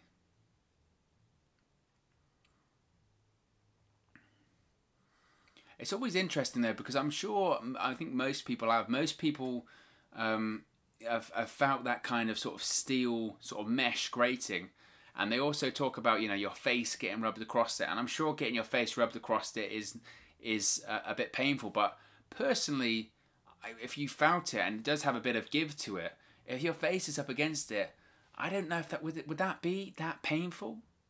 I don't know if it would be. I don't know if that would be that painful. Either way, Randy Orton is uh, in control of this one. He's used the match to sort of tailor it to his pace at this point, which is the slow, methodical Randy Orton Viper pace. Randy Orton as well. I mentioned this on all the the preview I did for this match. Is the MVP for me for 2020. I did see. I saw on. I saw this on social media earlier. Someone was saying that. Oh, I can't believe people are saying that Randy Orton is the MVP of 2020 when you got people like Asuka and Sasha Banks and Bayley. And my response to that is exactly what I said in the preview videos that I think Asuka and Sasha Banks and Bayley and all of those people have had fantastic years. I do. I think they've had fantastic chapters of 2020 though. I think Asuka, again, those empty performance center shows, the first few, no one could touch Asuka. She was fantastic. Bayley and Sasha Banks, they had a fantastic match tonight, classic. And but during the summer, it was all about Bayley and Sasha Banks. But if you're looking at someone for the entirety, the entirety of 2020, who has been consistently just on another level, it's Randy Orton. It's Randy Orton. Nobody can touch him. For the entirety of this year, he has just been superb. He has been world class. Ever since he turned on Edge, which was the night after the Royal Rumble in January, can you, can you tell me anyone that consistently over that period of time has been better than Randy Orton? You can't. I, I will not have it. I will not have it. Randy Orton's just done an Irish whip to Drew McIntyre, who went into the steel ring, uh, real steel ring steps. Easy for me to say, propped up against the wall of Hell in a Cell. How do you feel about um, this being the third Hell in a Cell match of the evening? I feel like I've enjoyed. I enjoyed the first two Hell in a Cell matches. I did. I feel like three is too many though for for one Hell in a Cell pay per view. I must say. I think looking back on it, that first match between Roman Reigns and Jey Uso didn't need to be a Hell in a Cell match. That could have just been an I Quit match, and it would have been absolutely fine. I think it didn't need to be Hell in a Cell. And then I think if this was if this was the second Hell in a Cell match of the evening, I think it would feel a lot different. I feel like it's um, it makes it difficult for Drew McIntyre and Randy Orton because you've got to have not only three Hell in a Cell matches in one show, but they've all got to be different. They've all got to be completely different, and they and so far they have been, but it certainly makes it more difficult for for Randy and Drew, I must say. And I don't think the first match of the show needed to be that Hell in a Cell match. I think it could have just been an I Quit match, and it would have been fine. I'm not sure what what purpose the Hell in a Cell really served in that, since it was an I Quit match. But Drew McIntyre looks to be fighting back here against Randy Orton. Right hands continuing to fight back. Randy Orton, of course, just set up a, uh, a table on the side of the uh, Hell in a Cell there. Randy Orton is going for the bang. Classic Randy Orton backbreaker there. Randy Orton, he's, he's so smooth as well. His transitions are just so smooth. Like his transition into that backbreaker was incredible. Randy Orton, I think Drew McIntyre kicked out at like one there and Randy Orton is just talking to the ref like one, not not two.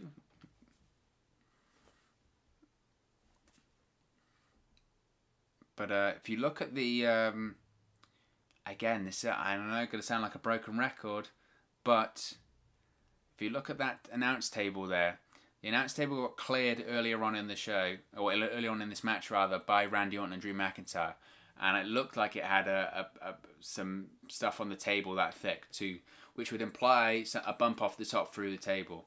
That announce table has yet to be. Um, they've not, they've not put anything back on it. That announce table is still clear, so I'm still sticking my prediction after seeing that announce table that someone's coming off the top of the cage. This is going to be uh, this is going to be something crazy. I think we're getting a big bump which again would explain why it's the main event. There's a lot of reasons why this could be the main event. And if we have a, I'm already booking this in my head. So there's several reasons. So if this is going to be the main event because we're having a bump off the top of the cell through the table, again, what perfect time to cash in if you're the Miz when someone's just come off the top of the cage. Which again is why this is the main event. So I'm going to go on top of my prediction. Okay, I I'd said that um, I that I saw what was going to happen when it comes to Otis uh, being turned on by Tucker. I'm going to go with another another prediction. Someone's coming off the top of the cage, and then after someone comes off the top of the cage, it's the perfect opportunity for the Miz to cash in. That's what I'm going to go with. So Drew McIntyre is firing back up. Drew McIntyre looks like he might be setting up for a Claymore here.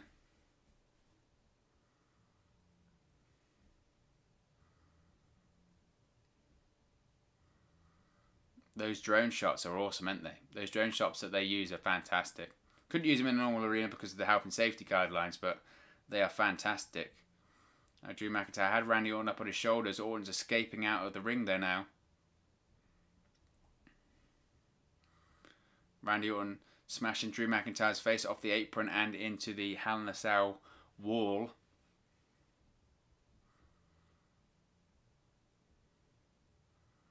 Here we go. Oh, belly to belly suplex.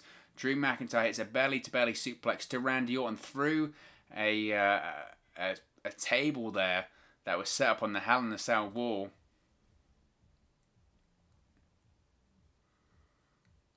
And you've got the piped in "This is awesome" chance. So we're being told by the producers at home that this is awesome. Awesome belly to belly suplex there through the table, propped up on the Hell in a Cell wall. I suppose the question is if they are going to go through the announce table, if we are going to see a big bump off the top of the cage, they've got to get outside at some point. So, how do they do that? Do they go through the wall? Do they somehow break through the door? Because that is three things that I kind of tell well two so far that I telegraphed this evening. I've floated in the match potentially we could have Jimmy Uso being attacked by Roman Reigns to make Jey Uso I quit, which was the case, or Jey Uso quit. Great grammar there from me. And the second, as soon as uh, John Morrison dropped the briefcase at Tucker's feet, I felt like Tucker might use it against Otis, and that was the case. So the third is that someone's coming off the top of the cage, and that the Miz is going to cash in.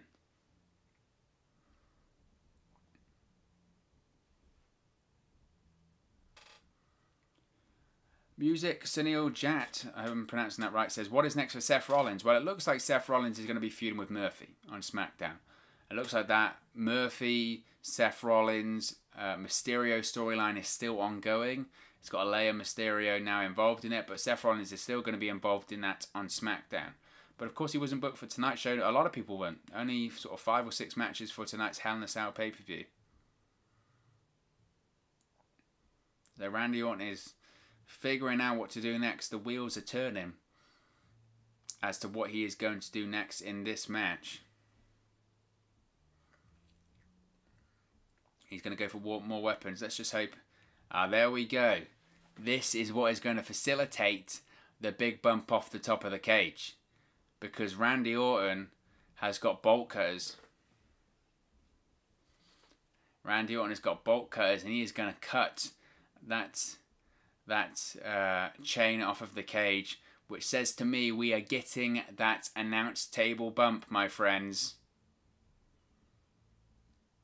And Randy Orton has cut the chain off of the door, and the door is going to be opened to Hell in a Cell. The door is unlocked. The door is unlocked, and this is going to mean we are going to get a bump. We are going to get a bump. Strike one up for another one because we're getting that bump. Alfie James says hashtag the fiend is coming for Randy Orton. That is a very good shout. Um, I think the fiend is potentially could be coming for Randy Orton. Of course, they have history. I floated it in one of the videos that uh, the fiend has been doing a lot of storylines about people that have wronged him in the past, whether that was John Cena or, or Daniel Bryan. I think the fiend could be um, could be coming after Randy Orton next. You're absolutely right. But Randy Orton and Drew McIntyre are now brawling outside of the Hell in a Cell structure. So both men are going to be brawling all over the Thunderdome here. Randy Orton has just thrown Drew McIntyre into the uh, Hell in a Cell structure there. So both guys are brawling on the outside, which says to me we're going to get this big bump. As soon as I saw that table, as soon as I saw the padding on the announce table, I thought, here we go. And it hasn't been cleared up since. Randy Orton looks to be assessing the situation here. Alright, here we go. Randy Orton is staring at the top of the staring at the top of the structure. He's gonna climb. Here we go. Here we go. I told you this bump was coming. This bump is coming.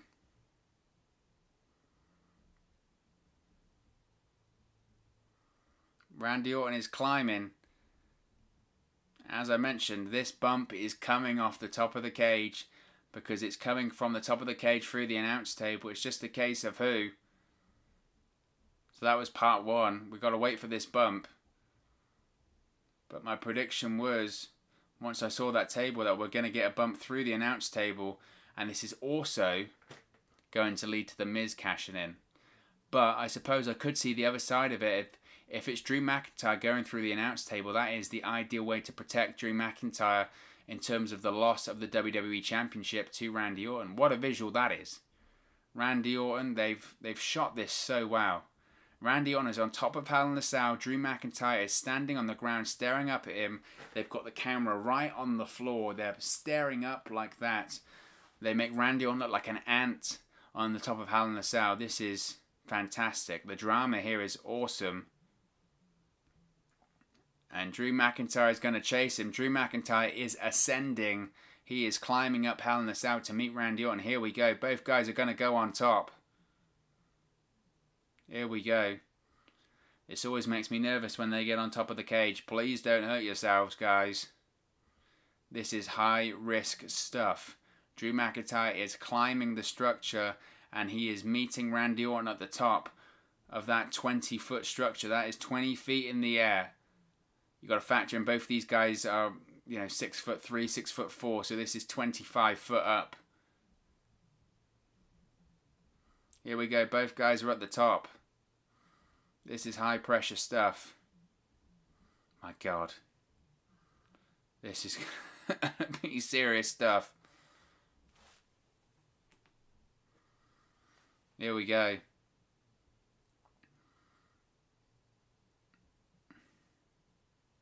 Randy Orton's got something. What is that? Is that a pipe? Randy Orton's got a lead pipe. He suckered Drew McIntyre in, and Drew McIntyre's at the top right now. They're shooting this with drones as well. This is incredible. Look at the production here. Absolutely amazing. Feels like a movie. There we go. He swings for it. And now they're both sort of brawling on top of a Hell in a Cell. This is this is terrifying.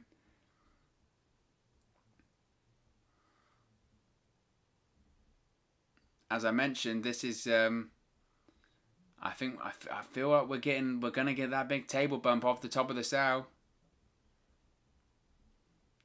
We're gonna get that big bump and Randy Orton just hit um, Drew McIntyre once again with that steel pipe, that lead pipe.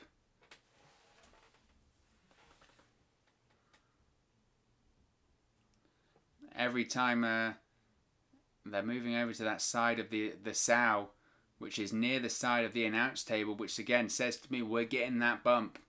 We're getting that bump through the announce table anytime soon. Here we go. I don't know if it will come straight off the top. We might get a case of someone climbing down halfway and then they drop from about 10 feet through the table. I think that's what we could see. Randy Orton is climbing down right now.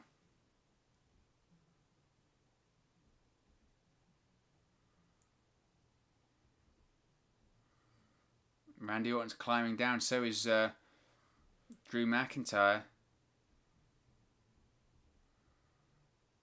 Drew McIntyre's following Randy Orton as they're climbing down here. I think they're both going to go through the table from about 10 feet, it looks like. Randy Orton is throwing punches. Both guys are about 10 feet up now.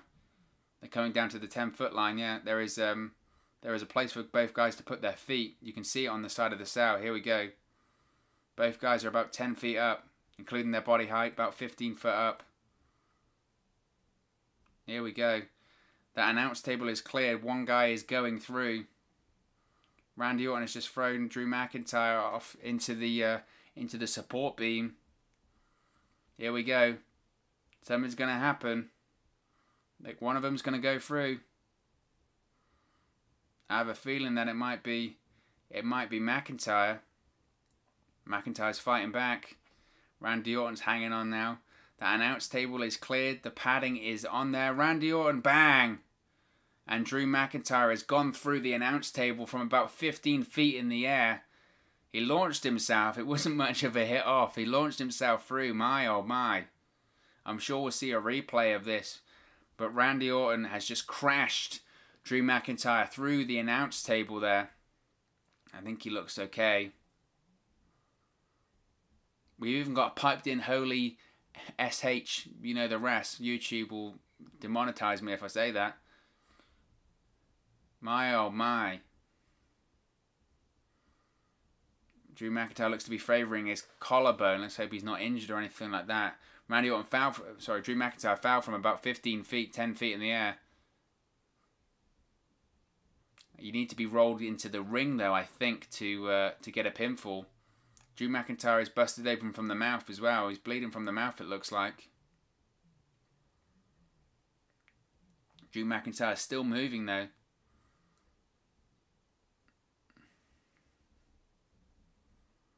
Drew McIntyre, he said he's bleeding from the mouth.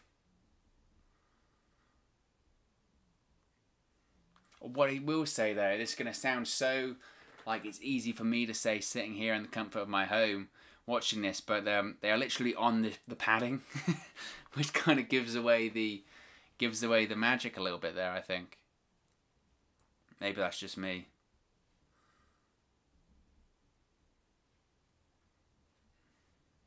But it looked like I mean we haven't seen a replay yet, so we'll have to wait and see. But there's potential that Drew McIntyre actually went into the side of the announce table and did a bit of a Vince McMahon, a Saint Saint Valentine's Day massacre. You remember that when he came off the cage and he sort of broke his tailbone by going onto the edge of the table. It was nasty. Randy Orton is trying to pick up Drew McIntyre here.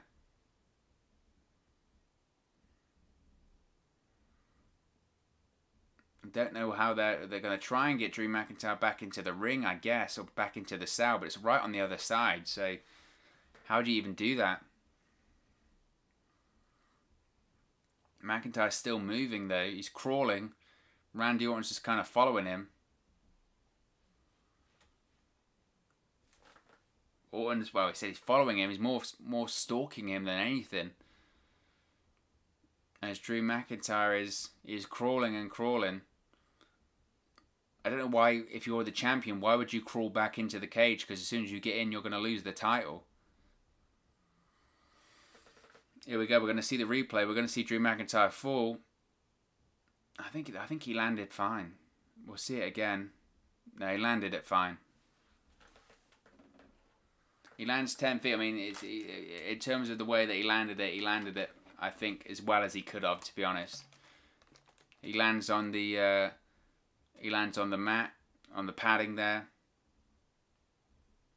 No, he landed it. He landed it good. I think he might have. I think the blood might be from maybe he bit his lip or he might have bitten his tongue, but I think it looked okay. In terms of how those things can land, anyway. Like I said, Vince McMahon St. Valentine's Day Massacre, when he came off the top of the cage, he landed literally on the edge, broke his tailbone. It was brutal. They're back inside Hell in the Cell though now. Drew McIntyre's been rolled into the ring by Randy Orton. We could be moments away from Randy Orton becoming WWE Champion here.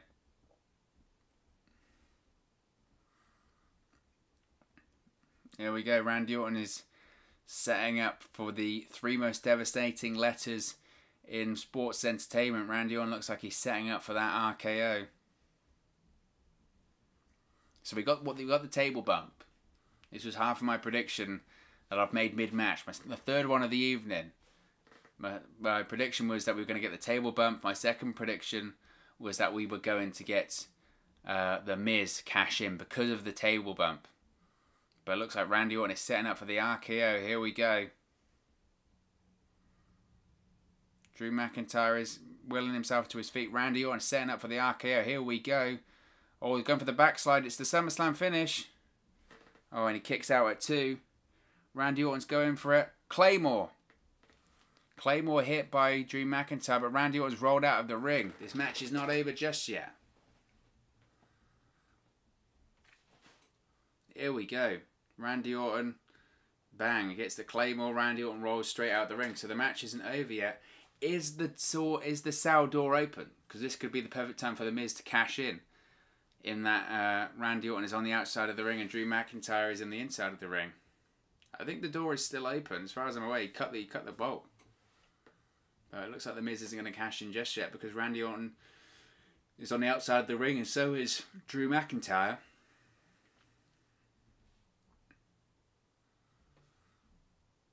Both guys uh, look to be brutalized here because Randy Orton is out on the outside of the ring. Drew McIntyre is doing his best to try and pick him up and roll him into the ring. Drew McIntyre is attempting to almost deadlift Randy Orton up at this point and roll him into the ring. Here we go, rolls McIntyre into the ring. Rolls Orton into the ring, rather. Apologies, it is 5 to 2. Here we go. Drew McIntyre is setting up for a Claymore. I reckon this is going to get counted into an RKO.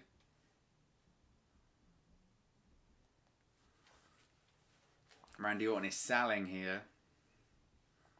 Continue sell. Drew McIntyre looks like he is going to set up for the Claymore.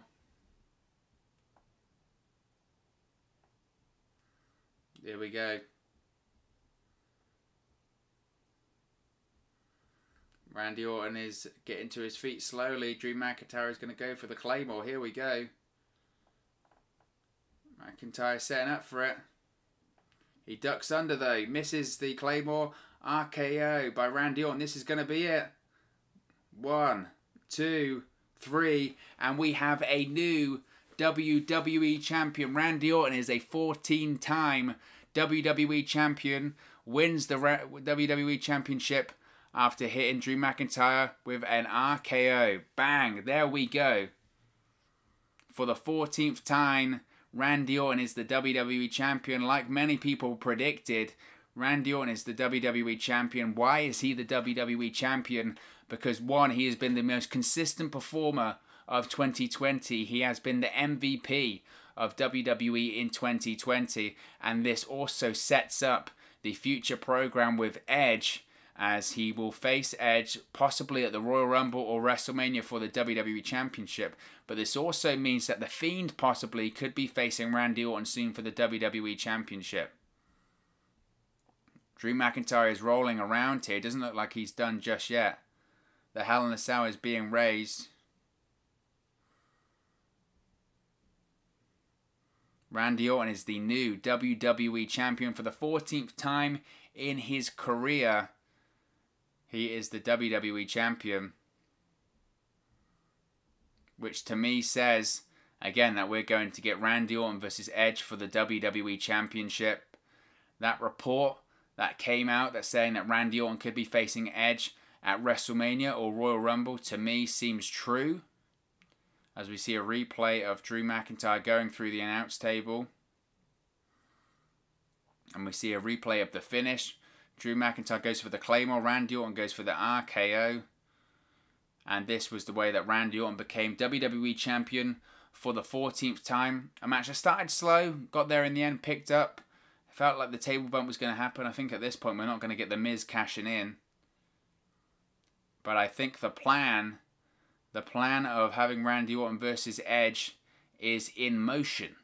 because Randy Orton is the WWE Champion for the 14th time in his career. Do I think this is the last Randy Orton versus Drew McIntyre match? I don't think so. I don't think so. But I think there's options here. I think potentially we could have Randy Orton versus uh, Drew McIntyre once again. I don't think this is the last match. I think also we could have Randy Orton versus The Fiend for the WWE Championship coming soon. And also, of course, we're going to have Randy Orton versus Edge for the WWE Championship very soon as well. So the title reign is now over for Drew McIntyre as Randy Orton has become the WWE Championship for the 14th time because Edge is going to be coming soon. Edge is going to be returning soon, it looks like. Possibly, again, the plan is for Edge to return in 2021 in January time, but that report about uh, Randy Orton versus Edge for the WWE Championship at the Royal Rumble or WrestleMania does look to be in motion because Randy Orton, of course, is the new WWE Champion. Wow. What a pay per view. What a pay per view. We've had new WWE Champion. Roman Reigns made his cousin say, I quit. We've got a new SmackDown Women's Champion in Sasha Banks. We've got a new Mr. Money in the Bank in The Miz